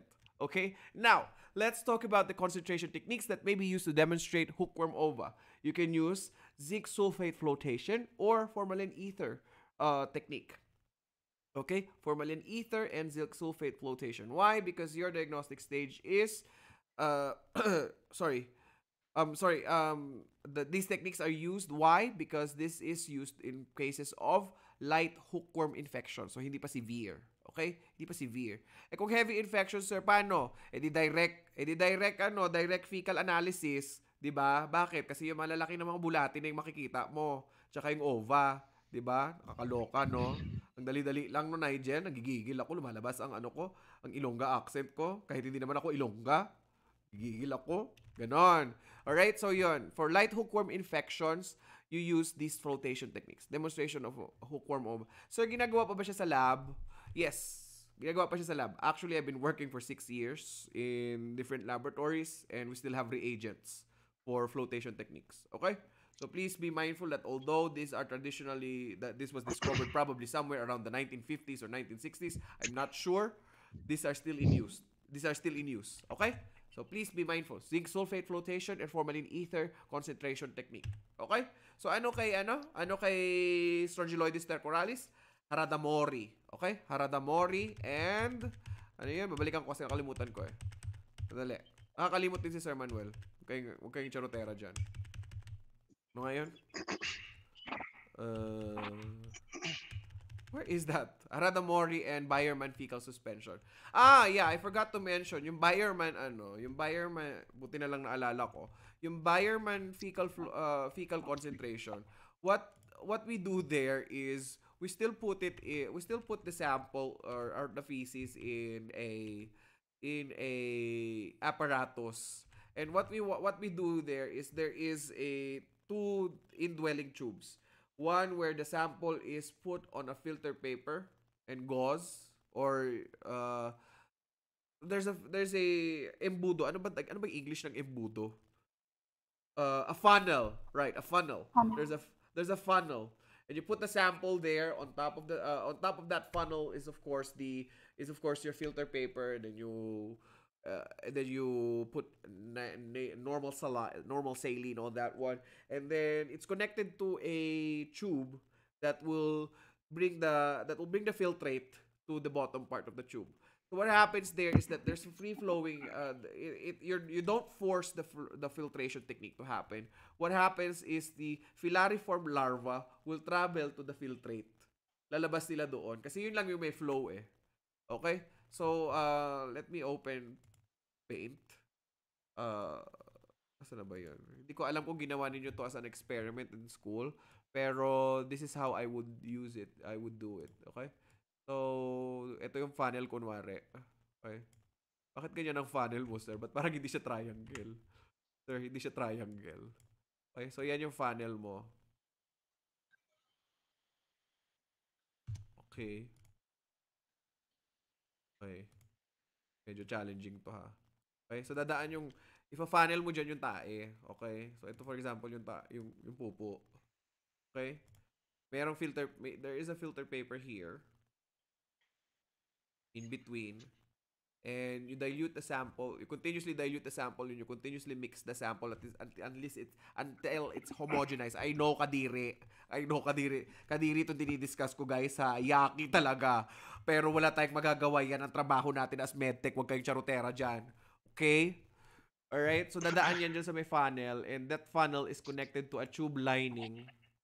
That funnel is connected to a tube lining where it's caught on to another another test tube. Ay, so, so it, there's a tube here. Imagine lang natin test tube siya. So dadaan yung pupo from here. Uh, let me change the color of my pencil. Will come from here. The filariform larva will travel by itself. Okay? So you don't necessarily uh the the fluid is so uh it's so mobile. It's uh, the fluid is so mobile that the filariform larva can freely travel to the filtrate from the filter paper. Uh, from the initial suspension. Gets nyo? Gets nyo? Parang sinasalo siya. Okay? So parang sinasalo siya nung ano, nung end test tube natin. Okay? Clear? So yun yung Bayerman technique. Nakalimutan ko palang i-discuss sa inyo yun kasi kaya sabi ko parang parang may sam, meron pa akong ito, meron pa akong sasabihin sa ano, may may gihambal pa ako Nigel sa inyo, 'di ba? May hambal pa ako. Nakalimutan ko yung hambal ko na ano, iba. All right, so yun. Okay. So microcytic hypochromic anemia is the uh, is the disease that we're going that we talked about. Now, uh, concentration techniques zinc sulfate flotation, formalin ether. Wala masyadong technique siya. It's not like the Harada Mori filter paper technique and the Bayerman technique. What you do here is you just add the, the fecal suspension and use zinc sulfate, uh, zinc sulfate or formalin ether, depending on the technique that you're using. If it's zinc sulfate flo- flotation, what you're going to expect is the the larva to go on the top of the solution. That's why you put a slide on top of it. If it's formalin ether concentration, ova will go at the bottom and the larva will float on the top. Okay?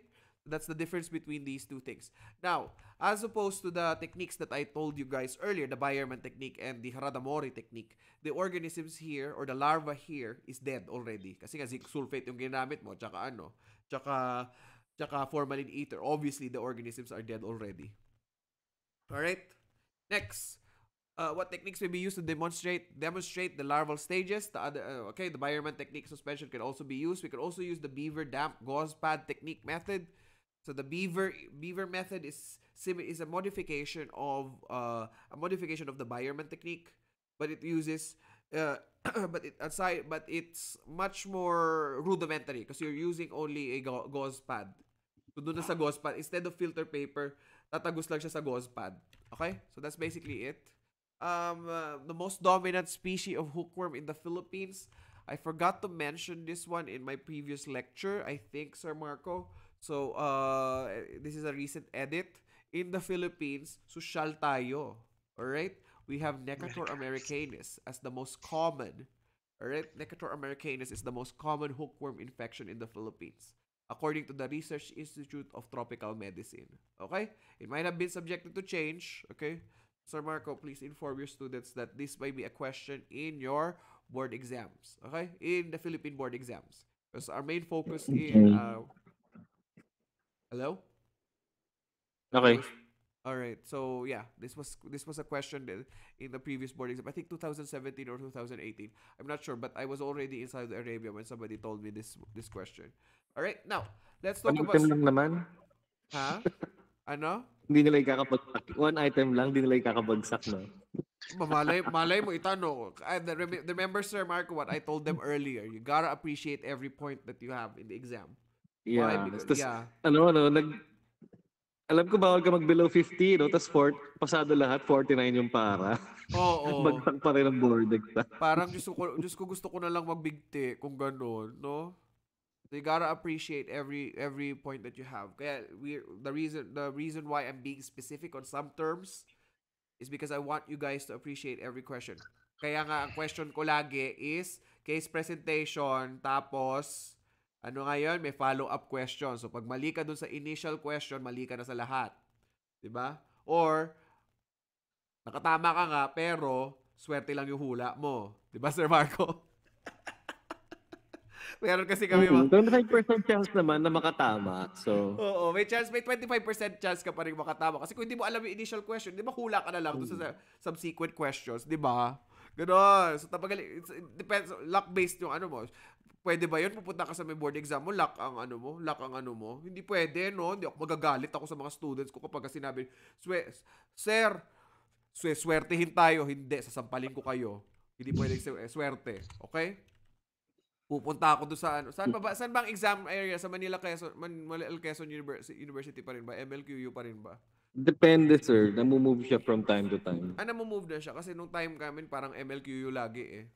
So, namumove na Ako pala sa. NU ako na nag-exam eh. Ah, sa normal university, sa Philippine norm, sa NU or normal normal university ba yun? NU, ah, national. Ah, national, sorry. Iba pala yung P PNU pala yung nasa isip ko. Alright. Anyway, anyway, let's continue. Let's talk about strongyloides and versus hookworm larva. Okay, so this is one of the key points that you need to remember in your exams because they might give you uh, they might give you a case of a patient. Now, um, first thing that you need to look at is the buccal cavity of Strongyloides stercoralis versus the hookworm larva. The the structure observed at this stage is of course the rhabditiform stage when you're looking at the buccal cavity. So that's the answer to the second the second bullet. Okay? So usually we observe this in the rhabditiform larval stage and for hookworms it is long. Okay? For Strongyloides cercoralis, it's short. So when you're talking about the buccal cavity, yung bunganga, okay? Buccal cavity, bunganga. Kaya ginagamit kong terminology is bunganga. I know it sounds colloquial, but I want you guys to remember as much stuff as you can in this lecture. Please, Amanda. I'm talking to you, Amanda, kasi you are the person who always likes to ask for shortcuts and easy to remember things. So, buccal cavity, bunganga. Mas malaki kay hookworms, mas maliit kay Strongyloides cercoralis. How how can I remember this easy, sir? So, because I'm not very good at memorization according to Amanda. So, Amanda, tandaan mo lang, short for S, S is Strongyloides cercoralis. Walang kakwenta-kwenta pero hopefully makatulong. ba? Ganon. Yung bunganga ni Strongyloides cercoralis, S. Ano yung S? Short yon. Ano yung may ano yung ino-observe nating stage? Rhabditiform larva stage. Eh paano kung nagkamali ka doon sa initial question? Hindi pala rhabditiform larva yung tinitignan. Allah, nagkamali si Amanda. Kasi puro memorization lang. Ayan, aray, Diyos ko, Rudy. aray, Diyos ko, Rudy, Amanda. Alright, next. Genital primordium of hookworms and uh, let's differentiate the genital primordium.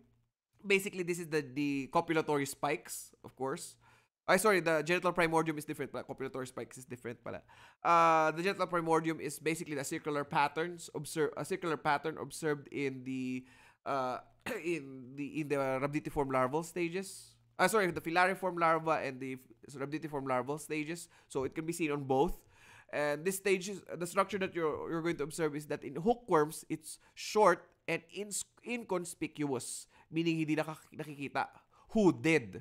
O ayan. Ayan na ha. Ayan binibigyan na din kita ng shortcut na naman Amanda. When we're when we're talking about the uh sorry. Sandali lang uubo lang. All right. I'm ready na ulit. Okay, so for hookworms, it's short and inconspicuous. Hooded. Ibig sabihin, hindi pa siya tuli. Okay? Yung hookworms, hindi pa tuli yung genital primordium niya. Kaya nga pag sinabi, bakit tuli ang in- ginagamit kong terminology? Kasi the genital primordium it's, is what we're talking about here. Pag si, ano, pag si Strongyloides cercoralis, prominent and conspicuous. Ibig sabihin, tuli. Okay? Clear, Amanda? Alright? So, babalik rin mo lang. Hindi S ang gagamitin mo dito kay Strongyloides cercoralis. Tuli. ST. Okay? Hindi S ha. Hindi supot. Okay? Ang supot, si hookworms. Okay? Clear? Clear, Amanda? Hooded. Okay? Naka-hood. Okay? Sino ba may hood dyan? Mark, meron ka bang hood ngayon? Pakita mo sa kanya kung anong itsura ng, ng supot. Ayan. O, ba? Ganyan yung genital primordium. Para si Jenilyn din. Jenilyn, bakit patingin mo nga kay Amanda para para para clear lang kay Amanda. Okay. Ngayon si James, pakita mo sa kanya. Charot lang. Charot lang. Go na tayo sa susunod. go, go na tayo sa susunod. Next na tayo. Char lang yun. Ano ba guys? Gusto ko lang kayo mag... Kasi nakaantok na si ano eh. Inaantok na si, si Miss Sabado eh. Gusto ko lang makita kasi ni Amanda kung ano talaga yung ano. Teka lang, nasa na ba yung kapartner mo, James, na isa pang ano, parang mga kalukuhan? Nasa na yung isa mong kasama? Absent ba yon? Yung ka-riding in tandem mo? Wala, wala yung, wala yung ka-riding in tandem mo. Si James ang ka-riding in tandem mo. Anong pangalan no nakalimutan ko? What's his face na lang ang tawag namin ni Sir Marco? Si, si Arnie po. Wala si Arnie ngayon. Nasa si Arnie? Yung ka-riding in Oh, wala po. Bakit wala siya? Sir Marco, pakibigyan ka ng minus 5. Chari. charot lang, charot lang. Alright, now we're looking for the tails. Okay, you're looking for the tails. Of course, you need to think of the hookworms. It's pointed for hookworms, and for Strongyloides cercoralis, it's notched. Please make sure you understand filariform larva. Okay? The filariform larva. Okay? So we're looking at the larval stages. So for hookworms, it's pointed. For Strongyloides cercoralis, it's notched. Okay? Now, meron din tayong tinatawag na sheath. Yung parang may nakatago. Okay? So si hookworm, sabi ko nga sa'yo kanina, hindi pa tuli. Okay? Amanda, hindi pa tuli. Alright? Short and incon- inconspicuous nga siya eh. At saka meron siyang sheath. Okay? Meron siyang sheath. Okay? Hindi ano ha, baka mamaya meron naman mga pilosopo dito eh. Hindi ano, ito yung spelling ko ng sheath ha. Sheath. Hindi yung, eh, hindi yung I ha. Wag kay wag, wag Mark ha. Alam ko talaga pinipiloso pinipiloso po mo ako. Alright? Baka mamaya tumatawa-tawa ka na naman dyan. Okay? So si hookworms talaga, since supot nga siya, meron siyang sheath or merong hood. Hooded siya, supot. So, mer- so usually may mga nakatok may nakatakip sa kanya. Now, at what temperature will you allow the larva to develop uh, the, would allow the larval development of hookworms uh, and Strongyloides torcoralis in stool? Sige, sino makakasagot? Temperature. So from ova to larva, ah sorry, from rhabditiform larva to filariform larva. What temperature? Sino makakasagot? This one is this one is commonsensical, I suppose. Body temperature. Body temperature, sino nagsabi nun? Sino, sino nagsabi? Hindi ko narinig. Eliza po. Ay, Eliza. Okay. What about freezing temperature? Meron magsasagot ng freezing temperature? What about room temperature? Wala magsasagot? Wala. Wala. Wala. Confident na tayo kay Eliza? Everybody, if, if you guys are confident, please show your thumbs up. Thumbs up. Thumbs up. Si, Na- si Nigel, thumbs up din. Amanda, ikaw. Thumbs up ka ba or no? Thumbs up, sige. Tingnan natin ha. Tingnan natin kung tama talaga si Amanda, si Eliza. Unfortunately, Amanda, ala, Eliza, everybody, you dragged everybody to the ground. It is room temperature, Amanda. I'm terribly sorry, girl. Don't worry, you did not win the prize, but but thankfully you participated because why? Why? Why? Why? Why? Why? Because if you mistake make mistakes here, you will remember your mistakes, di ba? Right? So it doesn't matter to me. Now, let's talk about Trichinella spiralis. Okay? Now we're moving towards the tissue nematodes. And I don't think we have time for the other tissue nematodes. But let's try to finish until Trichinella spiralis. Okay? What is the common name for Trichinella spiralis? Anybody here? Oh yeah, common name girl. Common name girl. Unmute yourself. Muscle worm or garbage worm. Okay. What's the other one? Sorry, I didn't quite hear the other one. Muscle and garbage worm. Garbage worm. Okay, all right. The, that's the first time I'm hearing of the garbage worm. All right, but anyway, let's see. The common name for that one is the trichina worm. the muscle worm is okay also, but the garbage worm, I'm not sure where you got that. Um, Sir Marco, you can enlighten the class later when why it's the garbage worm. I pro- I'm assuming you got it from uh, I'm assuming you got it from your professors. But yeah, um, it's actually the trichina worm or the uh, sorry, the trichina worm or your muscle worm. And the cause the, the disease is called trichinosis, not trichiniasis. I not trichuriasis. So please don't confuse this. When I was a student, I selected I selected the wrong answer. I was still a student. Remember, when you're a student, you're allowed to make mistakes. But in the exam, I I I urge you not to make a lot of mistakes. Okay. So uh, trichini- trichino- trichinosis, of course. In the United States, it's usually trichinosis. In the UK, if you look at the UK books, UK microbiology books, you would see trichiniasis. Okay? In US-based books, it's trichinosis. Even in case presentations made by uh, made by ASCP, it's usually trichinosis. But I added it there. Say, lagay lang ng lagay. Ika nga ni Ma'am Lea Navarro. Lagay lang ng lagay. Anyway, hindi naman ako mag-aaral niyan. It's basically the same thing. Okay? Next, infected, effective stage of Trichinella spiralis in humans. Anybody knows what the, what the infective stage of Trichinella spiralis is? Eliza. Insisted larvae. Very good. On where? Where you're speaking about something insisted, where is it insisted? Is it insisted on the stool? Is it insisted on the urine? Is it insisted on sputum? Blood. Blood? Anybody who wants to help out Eliza? Miss Sabado? Muscle. Muscle. Specific. So where do you get it? So I think I know where your where, where your garbage worm uh where your garbage worm comes from na. Okay? So I'll give you the answers, guys. The correct answer is insisted larva on meat or muscle fibers, right? So on meat or muscle fibers. The diagnostic stage is of course the insisted larva also on muscle biopsies. Okay? Now, true or false question. I'm going to say I'm going to ask a true or false question. This is not included in my lectures here. I want you to write the, the correct answers. True or false? Humans are the definitive hosts of Trichi- the, trichi- the trichinoworm. True or false? Kailangan natin maano siya. Kailangan natin siyang malaman. Alright? True or false? Humans are the definitive. Humans are the DF. Are the DF na lang para hindi mahaba. The DF of Trichu- Trichinella spiralis. Ayan. So you guys can answer that one whilst we're discussing whilst we go whilst I'm waiting for your answers. So we're going to move on with the next slides. Okay, now well we're going to skip this one. Um hang on a sec. binilisan lang ni- binilisan ko lang. Alright. Uh three phases of human trichinosis. Alright, so let's talk about human trichinosis. There are three phases of human trichinosis. Of course, there is incubation and intestinal invasion, larval migration, uh, larval migration from one point to the muscles, and encystment and encapsulation. There are three phases. I basically just summarized this one. It's actually one page in a microbiology book.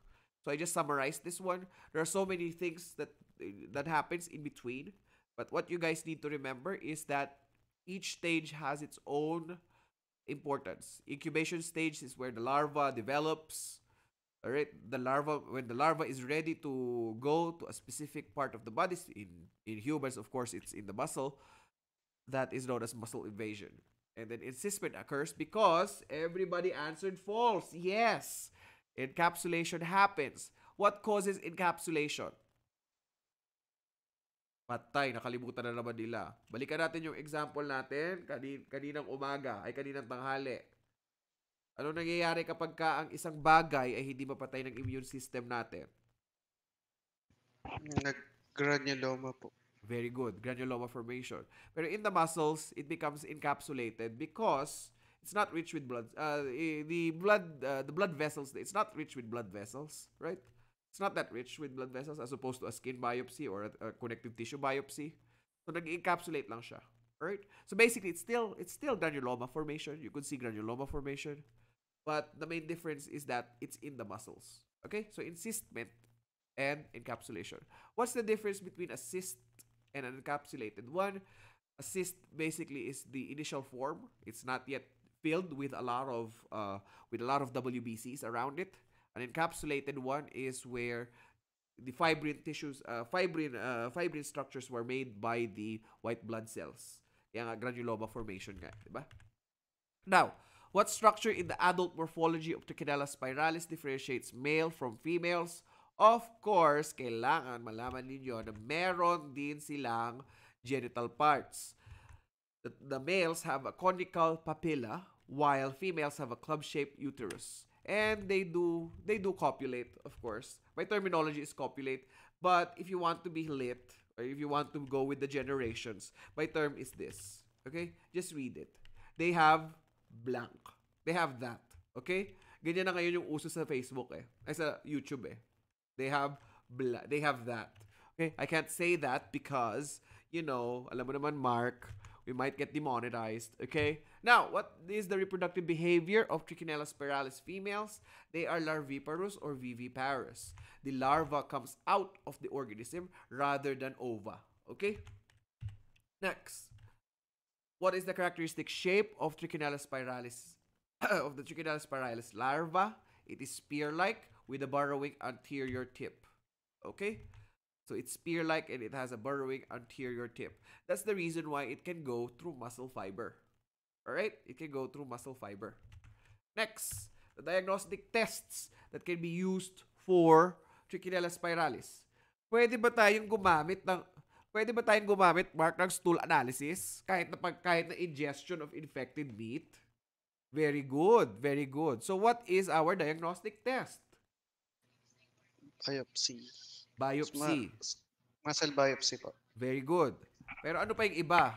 We could use serological diagnosis or diagnosis, diagnosis, right? We could use serological diagnosis. We could also use xenodiagnosis. Pwede tayong kumuha ng encysted larva tapos i-animal inoculation natin siya. Specifically what? Animal. Mga baboy. Okay? Mga baboy. Xenodiagnosis. Okay? So muscle biopsies, serolo- serological analysis, and xenodiagnosis. Okay? Alright, now. Alright, now. What are the two classifications of serological tests for Trichinella spiralis? We can use two out of the three. Okay?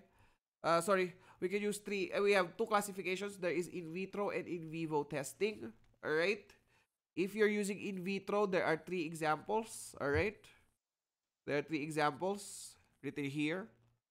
What are the three ones? We have CAT, CE, CFT, ELISA, bentonite flocculation. Whilst in, in vivo, you use the Bachman intradermal test. It's basically the test. Uh, it's usually it's basically the skin test that you would get. Uh, uh, that you would that we would give to you. The Mantoux test. Similar to that one, but you're using Trichinella spiralis antigens. Okay, purified of course. All right. So this one, CFT. What is CFT? Baka, baka mamaya may hindi pa rin nakakaalam na CFT. Nakaabot na ng internship. Patay tayo dyan. CFT. Nag-google ka, nakikita ko sa salamin mo, Mark. Pero okay lang. It's okay. Hoy, nakaabot kayo ng third year. Magagalit talaga sa inyo si Sir Marco.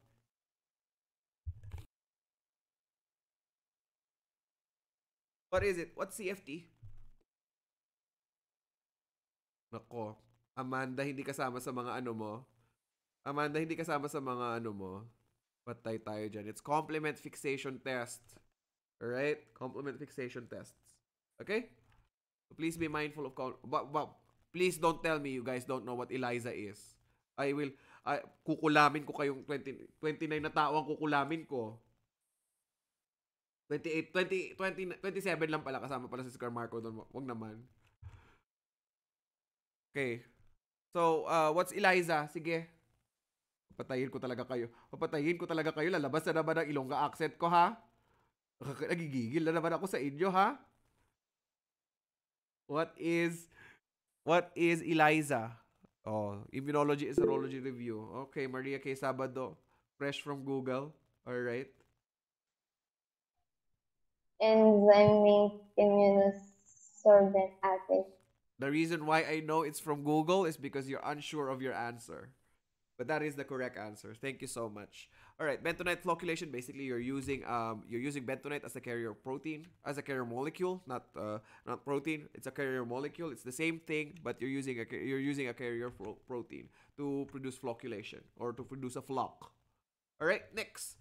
Uh, reagent that we use for um, the reagent that we use for Bachman test or the IDT or the intradermal test for trichinosis is of course the antigen from Trichinella spiralis. The dilution is as follows. It's 1 to 5,000 to 10,000. The positive result is erythema at the site of injection at 30 minutes after 30 minutes. Okay? Erythema after 30 minutes. The term for the diagnostic test is Beck's xenodiagnosis, hindi yan yung mga bakla.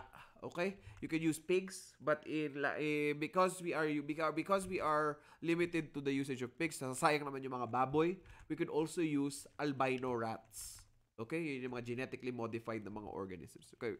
Beck's xenodiagnosis. You're using albino rats, and then you're going to kill them. You're going to take their muscle organ, their muscle biopsies, and then we check for bi- we check we check the muscle biopsies. Ang habang proseso, no, guys. Ang habang proseso. So, that's uh, actually used for research purposes. Pwedeng, pwedeng baboy, pwedeng albino rats. Uh, but what you need to remember is Beck's xenodiagnosis. Okay? Now, what is the most common preventive measure to avoid trichinosis? Ayan na. This is a question from uh, this is a question that was posed to us when we were when we were reviewing parasitology post a postgraduate parasitology course. Most common preventive measure. Sige. Cooking meat properly. Okay. Most common. All right, most common. Cooking meat properly is actually not in the top of the list. On the top of the list is actually this one. this one is the most uh, I was I was confused also. Why? Why cooking meat? Why? I will explain to you why, Mark, ha? Why? Because some some cooks or some chefs they have what you call uh, especially in the united states or Euro- in other european countries they enjoy what type of cooking uh, what type of cooking uh, uh, grilling methods pala they have grilling methods they employ grilling methods actually in the Philippines tayo lang naman yung ma- tsaka other Asian countries tayo lang naman mahilig sa deep fry di ba pag inisip natin na deep fry tsaka pa nakukuluan, Pinoy yon at tsaka ano, strictly Pinoy yon.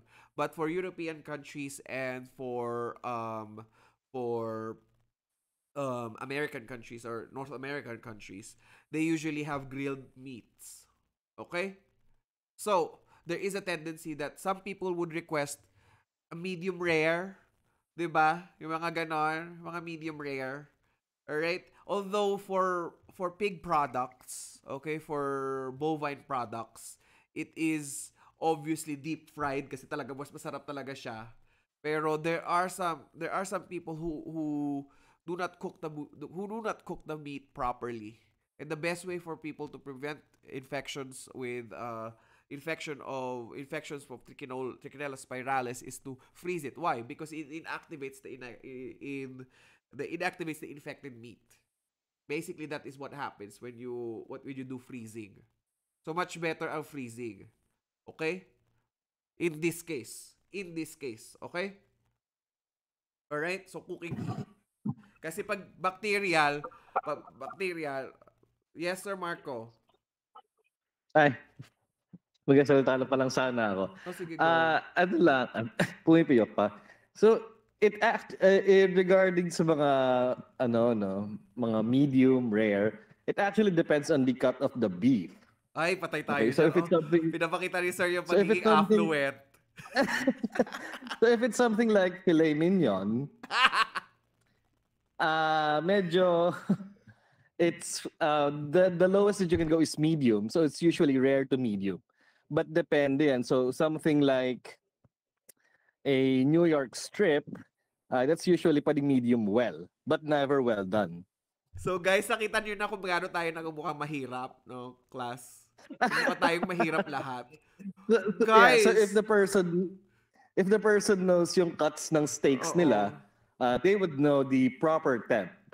Oh, okay. Okay, but remember for pork and chicken, walang under, Wala- walang medium wala, well. wala, wala. It's always well done for pork and chicken. Yes, yes. Kaya nga sabi ko sa kanila, freezing talaga. Kasi nga, baka mamaya, undercooked lang siya ng frying. 'Di ba? Malamig pa pala yung loob. Alright? So, yan. Um, kaya talaga kayo. So- sorry naman, sorry naman. Oo, kaya kailangan. Nagmukha tayong mahirap lahat, guys, no? Alam nyo ba, kaila, nung, um, kailangan ko bang umalis ng Pilipinas para makakain ng filet mignon? Kasi hindi kaya ng sahod ng medtech ang filet mignon dyan sa Pilipinas. Dito ko lang natikman sa Saudi Arabia yon Would you believe it? 'Di ba? Meron pa siya May medium rare, tapos mga cuts ng meat. Guys, gosh, I feel so poor. 'Di ba? Sir, question. Tricanella po ba sa nakikita din sa ano rin beef No. product ay beef No, it's mas ano bu- it's more or less in pigs. Hmm, okay po Mo- mostly pigs, but iba kasi yung issue nyo for beef. It's a Oo. different kind of worm. Yeah, Ah, yeah, okay po. yeah. It's a different worm. Which we'll talk about next week. All right, so we're going to end the discussion here. Uh, next uh, next week, we're going to talk about angist- uh, the other tissue or parasites, Angiostrongylus cantonensis. We're going to start with Angiostrongylus cantonensis. You guys study up. Hopefully, we filled out some of the blank in the blanks in those forms. Nag-fill out ba kayo whilst you guys were listening? I only saw my third daughter Jeneline Marzan, who is actually filling up her forms. Uh, I don't know if that's my it's those if that is my forms, but please, please, please, please do do not forget to answer those things. Um, uh, a lot of my students from the past have attested that this was a great help because they didn't really need to study it. They, they didn't really need to study parasitology. If you know a lot of the blanks there, you already are going to have you already have a 35% uh, not a 35% chance um like a 75% chance of passing parasitology. Anyway that's it for me for today. Hopefully you guys learned something and hopefully you had fun because i want to take i want to make education fun. Um good luck and see you guys next week. Bye